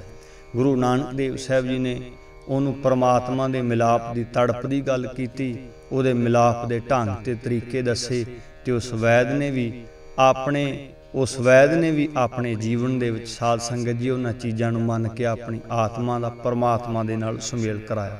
ਬਚਪਨ ਦੇ ਕੁਝ ਇਸ ਤਰ੍ਹਾਂ ਦੇ ਕੌਤਕ ਸਨ, ਗੁਰੂ ਨਾਨਕ ਦੇਵ ਸਾਹਿਬ ਜੀ ਬਚਪਨ ਦੇ ਵਿੱਚ ਅਸੀਂ ਸਾਖੀਆਂ ਪੜ੍ਹਦੇ ਹਾਂ। ਉਹਨਾਂ ਨੂੰ ਪੜ੍ਹਨ ਦੇ ਲਈ ਪਾਂਦੇ ਕੋਲ ਭੇਜਿਆ, ਮੌਲਵੀ ਕੋਲ ਭੇਜਿਆ, ਹਿਸਾਬ ਕਿਤਾਬ ਦੇ ਲਈ ਭੇਜਿਆ। ਬਚਪਨ ਦੀ ਜਿਹੜੀ ਦੁਨਿਆਵੀ ਵਿਦਿਆ ਹੈ, ਉਸ ਵਿਦਿਆ ਦੇ ਲਈ ਉਹਨਾਂ ਨੂੰ ਮਦਰਸਿਆਂ ਵਿੱਚ, ਮੰਦਰਾਂ ਵਿੱਚ ਜਦੋਂ ਉਹਦੇ ਪਿਤਾ ਨੇ ਭੇਜਿਆ ਵੀ ਕੋਈ ਹਿਸਾਬ ਕਿਤਾਬ ਸਿੱਖ ਲੈ ਕੋਈ ਲਿਖਣਾ, ਪੜ੍ਹਨਾ ਸਿੱਖ ਲੈ ਤੇ ਅਸੀਂ ਇਸ ਗੱਲ ਦੀ ਸਾਖੀ ਬਹੁਤ ਵਾਰ ਸੁਣੀ ਹੈ ਕਿ ਸਾਧ ਸੰਗਤ ਜੀ ਜਦੋਂ ਗੁਰੂ ਨਾਨਕ ਦੇਵ ਸਾਹਿਬ ਜੀ ਨੂੰ ਪਾਂਦੇ ਨੇ ਕਿਹਾ ਕਿ ਲਿਖ ਬੇਟਾ, ਊੜਾ। ਗੁਰੂ ਨਾਨਕ ਦੇਵ ਸਾਹਿਬ ਜੀ ਕਹਿਣ ਲੱਗੇ, ਊੜਾ ਫੇਰ ਲਿਖਾਂਗਾ, ਪਹਿਲਾਂ ਇਹਦੇ ਅਰਥ ਦੱਸੋ। ਉਹ ਪਾਂਦਾ ਕਹਿਣ ਲੱਗਾ ਵੀ ਇੱਕ ਅੱਖਰ ਦਾ ਕੀ ਕੀ ਅਰਥ ਮੈਂ ਤੈਨੂੰ ਸਮਝਾਵਾਂ? ਇੱਕ ਅੱਖਰ ਦਾ ਕੋਈ ਅਰਥ ਨਹੀਂ ਹੁੰਦਾ। ਇਹ ਹਰਫ ਜਦੋਂ ਜੁੜਨਗੇ, ਇਹਦੇ ਨਾਲ ਮਾਤਰਾਵਾਂ ਲੱਗਣਗੀਆਂ, ਇਹ ਸ਼ਬਦ ਬਣੇਗਾ, ਉਸ ਤੋਂ ਬਾਅਦ ਇਹਦਾ ਕੋਈ ਨਾ ਕੋਈ ਅਰਥ ਬਣੇਗਾ। ਗੁਰੂ ਨਾਨਕ ਦੇਵ ਸਾਹਿਬ ਜੀ ਕਹਿਣ ਲੱਗੇ ਕਿ ਊੜੇ ਦਾ ਕੋਈ ਅਰਥ ਨਹੀਂ ਹੈ। ਉਹ ਪਾਂਦਾ ਕਹਿਣ ਲੱਗਾ, ਊੜੇ ਦਾ ਕੋਈ ਅਰਥ ਨਹੀਂ ਹੈ। ਗੁਰੂ ਨਾਨਕ ਦੇਵ ਸਾਹਿਬ ਜੀ ਕਹਿਣ ਲੱਗੇ, ਬਿਨਾਂ ਅਰਥਾਂ ਵਾਲੇ ਅੱਖਰ ਮੈਨੂੰ ਨਾ ਪੜਾਓ ਤੇ ਨਾ ਮੈਨੂੰ ਪੜਨ ਦੀ ਲੋੜ ਹੈ। ਮੈਂ ਬਿਨਾਂ ਅਰਥਾਂ ਵਾਲੀ ਕੋਈ ਚੀਜ਼ ਸਿੱਖਦਾ ਪੜਦਾ ਸਮਝਦਾ ਨਹੀਂ ਹਾਂ। ਮੈਨੂੰ ਅਰਥ ਜਿਸ ਚੀਜ਼ ਦੇ ਹਨ, ਉਹ ਚੀਜ਼ ਪੜਾਓ ਉਹ ਪਾਂਦਾ ਕਹਿਣ ਲੱਗਾ ਵੀ ਊੜੇ ਦਾ ਮੈਂ ਤੈਨੂੰ ਕੀ ਅਰਥ ਕਰਕੇ ਦੱਸਾਂ? ਤੇ ਜਿਹੜੀ ਅਸੀਂ ਗੁਰੂ ਨਾਨਕ ਦੇਵ ਸਾਹਿਬ ਜੀ ਦੀ ਬਾਣੀ ਪੜ੍ਹਦੇ ਹਾਂ, ਉਹਦੇ ਵਿੱਚ ਗੁਰੂ ਨਾਨਕ ਦੇਵ ਸਾਹਿਬ ਜੀ ਨੇ ਸਾਰੇ ਗੁਰਮੁਖੀ ਲਿਪੀ ਤੋਂ ਸਾਰੇ ਪੰਜਾਬੀ ਅੱਖਰਾਂ ਤੋਂ ਵੱਖ-ਵੱਖ ਅਰਥ ਕਰਕੇ ਗੁਰੂ ਨਾਨਕ ਦੇਵ ਸਾਹਿਬ ਜੀ ਨੇ ਸਮਝਾਇਆ ਊੜੇ ਦਾ ਕੀ ਅਰਥ ਹੈ, ਐੜੇ ਦਾ ਕੀ ਅਰਥ ਹੈ, ਈੜੀ ਦਾ ਕੀ ਮੀਨਿੰਗ ਹੈ? ਪਾਂਦਾ ਵੀ ਗੁਰੂ ਨਾਨਕ ਦੇਵ ਸਾਹਿਬ ਜੀ ਦੇ ਚਰਨੀ ਪਿਆ। ਤੇ ਕਹਿਣ ਲੱਗਾ, ਆਇਆ ਤੇ ਤੂੰ ਮੈਨੂੰ, ਆਇਆ ਤੇ ਤੂੰ ਮੇਰੇ ਕੋਲੋਂ ਪੜਨ ਸੈਂ। ਪਰ ਐਸੀ ਮੈਨੂੰ ਪੜ੍ਹਾਈ ਕਰਾ ਚੱਲਿਆ ਵੀ ਮੈਂ ਵੀ ਆਪਣੇ ਆਪ ਨੂੰ ਅੱਜ ਅਨਪੜ੍ਹ ਮਹਿਸੂਸ ਕਰ ਰਿਹਾ। ਕਿੰਨੇ ਸਾਲ ਹੋ ਗਏ, ਕਿੰਨੇ ਬੱਚਿਆਂ ਨੂੰ ਪੜ੍ਹਾਇਆ, ਕਿੰਨੇ ਲੋਕਾਂ ਨੂੰ ਸਿਖਾਇਆ, ਕਿੰਨੇ ਵਾਰ ਇਹ ਲਿਪੀ ਨੂੰ ਮੈਂ ਪੜ੍ਹਿਆ, ਵਾਚਿਆ, ਦੁਹਰਾਇਆ, ਪਰ ਮੈਨੂੰ ਅੱਜ ਤੱਕ ਇਸ ਗੱਲ ਦੀ ਸਮਝ ਤੇ ਸੂਝ ਨਾ ਪਈ ਵੀ ਇਹਨਾਂ ਅੱਖਰਾਂ ਦਾ ਕੋਈ ਅਰਥ ਵੀ ਹੁੰਦਾ ਹੈ। ਗੁਰੂ ਨਾਨਕ ਦੇਵ ਸਾਹਿਬ ਜੀ ਤੋਂ ਸਾਰੀ ਉਸ ਲਿਪੀ ਦੇ ਅਰਥ ਸਮਝੇ, ਹਿਸਾਬ ਕਿਤਾਬ ਵਾਲੇ ਨੂੰ ਅਰਥ ਸਮਝਾਏ। ਖੈਰ, ਗੁਰੂ ਨਾਨਕ ਦੇਵ ਸਾਹਿਬ ਜੀ ਨੇ ਉਸ ਪਾਂਦੇ ਨੂੰ ਵੀ, ਉਸ ਉਸਤਾਦ ਨੂੰ ਵੀ ਪਰਮਾਰਥ ਦੀਆਂ ਗੱਲਾਂ ਦੇ ਨਾਲ, ਅਧਿਆਤਮਵਾਦ ਦੀਆਂ ਗੱਲਾਂ ਦੇ ਨਾਲ ਸਿੱਧੇ ਰਸਤੇ ਦੇ ਉੱਤੇ ਤੋਰਿਆ। ਸਾਧ ਸੰਗਤ ਜੀ ਥੋੜੇ ਜਿਹੇ ਵੱਡੇ ਹੋਏ, ਪਸ਼ੂ ਵੀ ਚਾਰੇ, ਘਰ ਦੇ ਵਿੱਚ ਨਿੱਕੇ ਨਿੱਕੇ ਖੇਡਾਂ ਦੇ ਨਾਲ ਕੌਤਕ ਵੀ ਕੀਤੇ ਮਹਾਰਾਜ ਨੇ। ਉਸ ਤੋਂ ਅੱਗੇ ਦਾ ਇਤਿਹਾਸ ਕਿਸੇ ਕੰਮ ਵਿੱਚ ਲਾਉਣਾ ਚਾਹਿਆ ਪਿਤਾ ਨੇ। ਜਿਹੜਾ ਕੰਮ ਗੁਰੂ ਨਾਨਕ ਦੇਵ ਸਾਹਿਬ ਕਰਦੇ ਸਨ, ਉਹ ਕੰਮ ਪਿਤਾ ਨੂੰ ਪਸੰਦ ਨਹੀਂ ਸੀ ਆਉਂਦਾ, ਕਿਉਂਕਿ ਉਹਨਾਂ ਦੀ ਦੁਨਿਆਵੀ ਸੋਚ ਸੀ ਪਟਵਾਰੀ ਦਾ ਕੰਮ ਕਰਦੇ ਸਨ। ਉਹ ਚਾਹੁੰਦੇ ਸਨ, ਮੇਰਾ ਲੜਕਾ ਦੁਨੀਆਦਾਰਾਂ ਵਾਂਗੂ ਧਨ ਪਦਾਰਥ ਕਮਾਉਣ ਵਿੱਚ ਬਹੁਤ ਅੱਗੇ ਲੰਘ ਜਾਏ। 20 ਰੁਪਏ ਦੇ ਕੇ ਉਹਨਾਂ ਨੂੰ ਚੂੜ ਕਾਣੇ ਦੀ ਮੰਡੀ ਦੇ ਵਿੱਚ ਕੁਝ ਵਸਤ ਖਰੀਦਣ ਲਈ, ਕੁਝ ਵਣਜ ਕਰਨ ਦੇ ਲਈ ਭੇਜਿਆ। ਸਾਧ ਸੰਗਤ ਜੀ 20 ਰੁਪਏ ਲੈ ਕੇ ਚੂੜਕਾਣੇ ਦੀ ਮੰਡੀ ਵੱਲ ਤੁਰੇ ਤੇ ਰਸਤੇ ਦੇ ਵਿੱਚ ਇੱਕ ਇੱਕ ਰੁੱਖਾਂ ਦੀ, ਰੁੱਖਾਂ ਦਾ ਝੁੰਡ ਜਿਹਨੂੰ ਅਸੀਂ ਝਿੜੀ ਕਹਿ ਦਿੰਦੇ ਆ ਪੰਜਾਬੀ ਵਿੱਚ। ਉੱਥੇ ਕੁਝ ਪਰਮਾਰਥ ਦੇ ਰਸਤੇ ਦੇ ਉੱਤੇ ਤੁਰਨ ਵਾਲੇ ਜਾਂ ਪਰਮੇਸ਼ਰ ਨੂੰ ਮਿਲਣ ਦੇ ਇੱਛਕ ਲੋਕ ਬੈਠੇ ਸਨ। ਉਹਨਾਂ ਦੇ ਅੰਦਰ ਪਰਮੇਸ਼ਰ ਦੇ ਮਿਲਣ ਦੀ ਤੜਪ ਤੇ ਬਹੁਤ ਵੱਡੀ ਸੀ, ਪਰ ਉਹਨਾਂ ਦਾ ਤਰੀਕਾ ਬੜਾ ਗਲਤ ਸੀ। ਘਰ-ਬਾਰ ਛੱਡ ਦਿੱਤਾ ਇਸ ਕਰਕੇ ਵੀ ਪਰਮੇਸ਼ਰ ਨੂੰ ਮਿਲਣ ਦੇ ਲਈ ਇਹ ਸਾਰੀ ਮੋਹ ਮਾਇਆ ਹੈ। ਪਤਨੀ ਨਹੀਂ ਚਾਹੀਦੀ ਹੈ, ਜੇ ਤੁਹਾਨੂੰ ਪਰਮੇਸ਼ਰ ਦਾ ਮਿਲਾਪ ਚਾਹੀਦਾ ਹੈ ਤਾਂ। ਬੱਚੇ ਨਹੀਂ ਚਾਹੀਦੇ ਹਨ, ਜੇ ਤੁਸੀਂ ਪਰਮਾਤਮਾ ਨੂੰ ਮਿਲਣਾ ਚਾਹੁੰਦੇ ਹੋ। ਤੁਸੀਂ ਕੰਮ ਧੰਦਾ ਨਹੀਂ ਕਰੋਗੇ, ਕੋਈ ਕਿਰਤ ਵਿਹਾਰ ਨਹੀਂ ਕਰੋਗੇ। ਸੰਸਾਰ ਨੂੰ ਬਿਲਕੁਲ ਛੱਡ ਕੇ, ਆਮ ਜਨਰੇਸ਼ਨ ਨੂੰ ਸਮਾਜ ਤੋਂ ਬਿਲਕੁਲ ਡਿਸਕਨੈਕਟ ਹੋ ਕੇ ਅਲੱਗ ਕਿਸੇ ਪਹਾੜ ਦੇ ਉੱਤੇ, ਕਿਸੇ ਜੰਗਲ ਦੇ ਵਿੱਚ ਚਲੇ ਜਾਓ, ਕਿਸੇ ਮਾਰੂਥਲ ਵਿੱਚ ਚਲੇ ਜਾਓ, ਜਿੱਥੇ ਆਮ ਮਨੁੱਖ ਦਾ ਪਹੁੰਚਣਾ ਮੁਸ਼ਕਲ ਹੀ ਨਹੀਂ, ਲਗਭਗ ਨਾਮੁਮਕਨ ਹੋਵੇ, ਜਿੱਥੇ ਆਮ ਮਨੁੱਖ, ਜਿੱਥੇ ਆਮ ਸਮਾਜ ਦੀ ਕੋਈ ਗੱਲਬਾਤ ਨਾ ਹੋਵੇ। ਇਹ ਸਾਰੀ ਮੋਹ ਮਾਇਆ ਛੱਡ ਕੇ ਤੁਸੀਂ ਚਲੇ ਜਾਓ। ਜਦੋਂ ਗੁਰੂ ਨਾਨਕ ਦੇਵ ਸਾਹਿਬ ਜੀ ਉਸ ਝਿੜੀ ਵਿੱਚ ਉਹਨਾਂ ਸਾਧੂ ਲੋਕਾਂ ਕੋਲ ਪਹੁੰਚੇ ਤੇ ਵੇਖਿਆ ਕੋਈ ਜਲ ਧਾਰੇ ਕਰ ਰਿਹਾ ਹੈ ਕੋਈ ਅੱਗ ਦੀਆਂ ਧੂਣੀਆਂ ਤਪਾ ਕੇ ਬੈਠਾ ਹੈ, ਕੋਈ ਸਾਧ ਸੰਗਤ ਜੀ ਪੁੱਠੇ ਲਟਕ ਰਿਹਾ ਹੈ, ਕੋਈ ਇੱਕ ਲੱਤ ਤੇ ਖੜਾ ਹੈ, ਕੋਈ ਕਿਸੇ ਆਸਨ ਨੂੰ ਕਰ ਰਿਹਾ ਹੈ, ਕੋਈ ਕਿਸੇ ਆਸਨ ਨੂੰ ਕਰ ਰਿਹਾ ਹੈ। ਜਦੋਂ ਗੁਰੂ ਨਾਨਕ ਦੇਵ ਸਾਹਿਬ ਜੀ ਗਏ, ਆਵਾਜ਼ ਮਾਰੀ, ਤੁਸੀਂ ਆਪਣੇ ਸਰੀਰ ਨੂੰ ਹੱਠ ਕਰਕੇ ਇੰਨੀ ਤਕਲੀਫ ਵਿੱਚ ਕਿਉਂ ਲਿਆ ਕੇ ਖੜੇ ਹੋ? ਤੇ ਉਹਨਾਂ ਸਾਰਿਆਂ ਨੇ ਇੱਕ ਸੁਰੋ ਕੇ ਉੱਤਰ ਦਿੱਤਾ ਕਿ, ਬੇਟਾ, ਅਸੀਂ ਸਾਰੇ ਇਸ ਕਰਕੇ ਇਸ ਤਕਲੀਫ ਨੂੰ ਸਹਿ ਰਹੇ ਹਾਂ ਤਾਂ ਕਿ ਸਾਨੂੰ ਪਰਮੇਸ਼ਰ ਜੀ ਮਿਲ ਪੈਣ। ਗੁਰੂ ਨਾਨਕ ਦੇਵ ਸਾਹਿਬ ਜੀ ਕਹਿਣ ਲੱਗੇ, ਬੈਠੋ, ਆਪਾਂ ਸਾਰੇ ਇਸ ਵਿਸ਼ੇ ਦੇ ਉੱਤੇ ਗੱਲਬਾਤ ਕਰਦੇ ਹਾਂ। ਗੁਰੂ ਨਾਨਕ ਦੇਵ ਸਾਹਿਬ ਜੀ ਕੋਲ ਬੈਠ ਕੇ ਉਹਨਾਂ ਲੋਕਾਂ ਨੇ ਪਰਮੇਸ਼ਰ ਦੇ ਮਿਲਣ ਦੇ ਲਈ ਵੱਖ-ਵੱਖ ਆਸਣ, ਵੱਖ-ਵੱਖ ਤਰੀਕੇ ਦੱਸੇ। ਗੁਰੂ ਨਾਨਕ ਦੇਵ ਸਾਹਿਬ ਜੀ ਕਹਿਣ ਲੱਗੇ, ਪਰਮੇਸ਼ਰ ਨੂੰ ਮਿਲਣ ਦਾ ਤਰੀਕਾ ਤੇ ਇੱਕ ਹੀ ਹੈ, ਵੀ ਪਰਮੇਸ਼ਰ ਨੂੰ ਪਿਆਰ ਕੀਤਾ ਜਾਏ। ਉਹ ਆਪ ਇੱਕ ਪਿਆਰ ਦੀ ਤਰੰਗ ਹੈ, ਉਹ ਆਪ ਇੱਕ ਪ੍ਰੇਮ ਦੀ ਤਰੰਗ ਹੈ। ਤੇ ਉਸ ਪਰਮੇਸ਼ਰ ਨੂੰ ਮਿਲਣ ਦੇ ਲਈ ਜਦੋਂ ਕੋਈ ਇਨਸਾਨ ਆਪਣੀ ਆਤਮਾ ਨੂੰ ਪਿਆਰ ਦਾ ਰੂਪ ਦੇ ਲੈਂਦਾ ਹੈ, ਤੇ ਉਸ ਪਰਮੇਸ਼ਰ ਨਾਲ ਉਸ ਆਤਮਾ ਦਾ ਮਿਲਾਪ ਹੋ ਜਾਂਦਾ ਹੈ। ਇਸ ਤਰ੍ਹਾਂ ਘਰ-ਬਾਰ ਛੱਡ ਕੇ, ਇਸ ਤਰ੍ਹਾਂ ਜੰਗਲਾਂ ਵਿੱਚ ਰਹਿ ਕੇ, ਇਸ ਤਰ੍ਹਾਂ ਤੁਸੀਂ ਵੱਖ-ਵੱਖ ਤਰੀਕਿਆਂ ਦੇ ਨਾਲ ਆਪਣੇ ਆਪ ਨੂੰ ਸਮਾਜ ਨਾਲੋਂ ਤੋੜ ਕੇ ਉਸ ਮਾਇਆ ਤੋਂ ਨਹੀਂ ਬਚ ਸਕਦੇ ਹੋ। ਮਾਇਆ ਅਸਲ ਦੇ ਵਿੱਚ ਪਤਨੀ ਨਹੀਂ ਹੈ। ਮਾਇਆ ਅਸਲ ਦੇ ਵਿੱਚ ਧਨ ਪਦਾਰਥ ਨਹੀਂ ਹੈ, ਘਰ-ਬਾਰ ਨਹੀਂ ਹੈ, ਪੁੱਤਰ ਧੀਆਂ ਨਹੀਂ ਹਨ। ਮਾਇਆ ਤੇ ਹਰ ਇੱਕ ਮਨੁੱਖ ਦੇ ਅੰਦਰ ਦੀ ਵਿਗੜੀ ਹੋਈ ਮਾਨਸਿਕ ਸਥਿਤੀ ਦਾ ਨਾਮ ਹੈ। ਪਤਨੀ ਮਾਇਆ ਨਹੀਂ, ਸਮਾਜ ਮਾਇਆ ਨਹੀਂ, ਇਹਨਾਂ ਨੂੰ ਛੱਡਣ ਦੀ ਲੋੜ ਨਹੀਂ ਹੈ। ਬਾਬੇ ਨਾਨਕ ਨੇ ਕਿਹਾ, ਇਹਨਾਂ ਦੇ ਵਿੱਚ ਰਹਿ ਕੇ ਆਪਣੇ ਆਪ ਨੂੰ ਉਸ ਕਮਲ ਦੇ ਵਾਂਗੂ ਨਿਰਲੇਪ ਰੱਖੋ। ਆਪਣੇ ਆਪ ਨੂੰ ਇਹਨਾਂ ਦੇ ਵਿੱਚ ਰਹਿ ਕੇ, ਇਹਨਾਂ ਦੇ ਵਿੱਚ ਅਵੇਸਲੇ ਹੋ ਕੇ, ਆਲਸੀ ਹੋ ਕੇ ਅਭੇਦ ਨਾ ਹੋਣ ਦਿਓ। ਇਹਨਾਂ ਦੀ ਲੇਸ ਆਪਣੇ ਮਨ ਦੇ ਉੱਤੇ ਨਾ ਚੜਨ ਦਿਓ। ਖੈਰ ਗੱਲਬਾਤ ਕੀਤੀ, ਗੁਰਮਤ ਦੀ ਗੱਲ ਸਮਝਾਈ, ਉਹਨਾਂ ਸਾਧੂਆਂ ਦੇ ਪੱਲੇ ਪਈ। ਉਹਨਾਂ ਨੇ ਭੋਜਨ ਛਕਣ ਦੀ ਇੱਛਾ ਵਿਅਕਤ ਕੀਤੀ।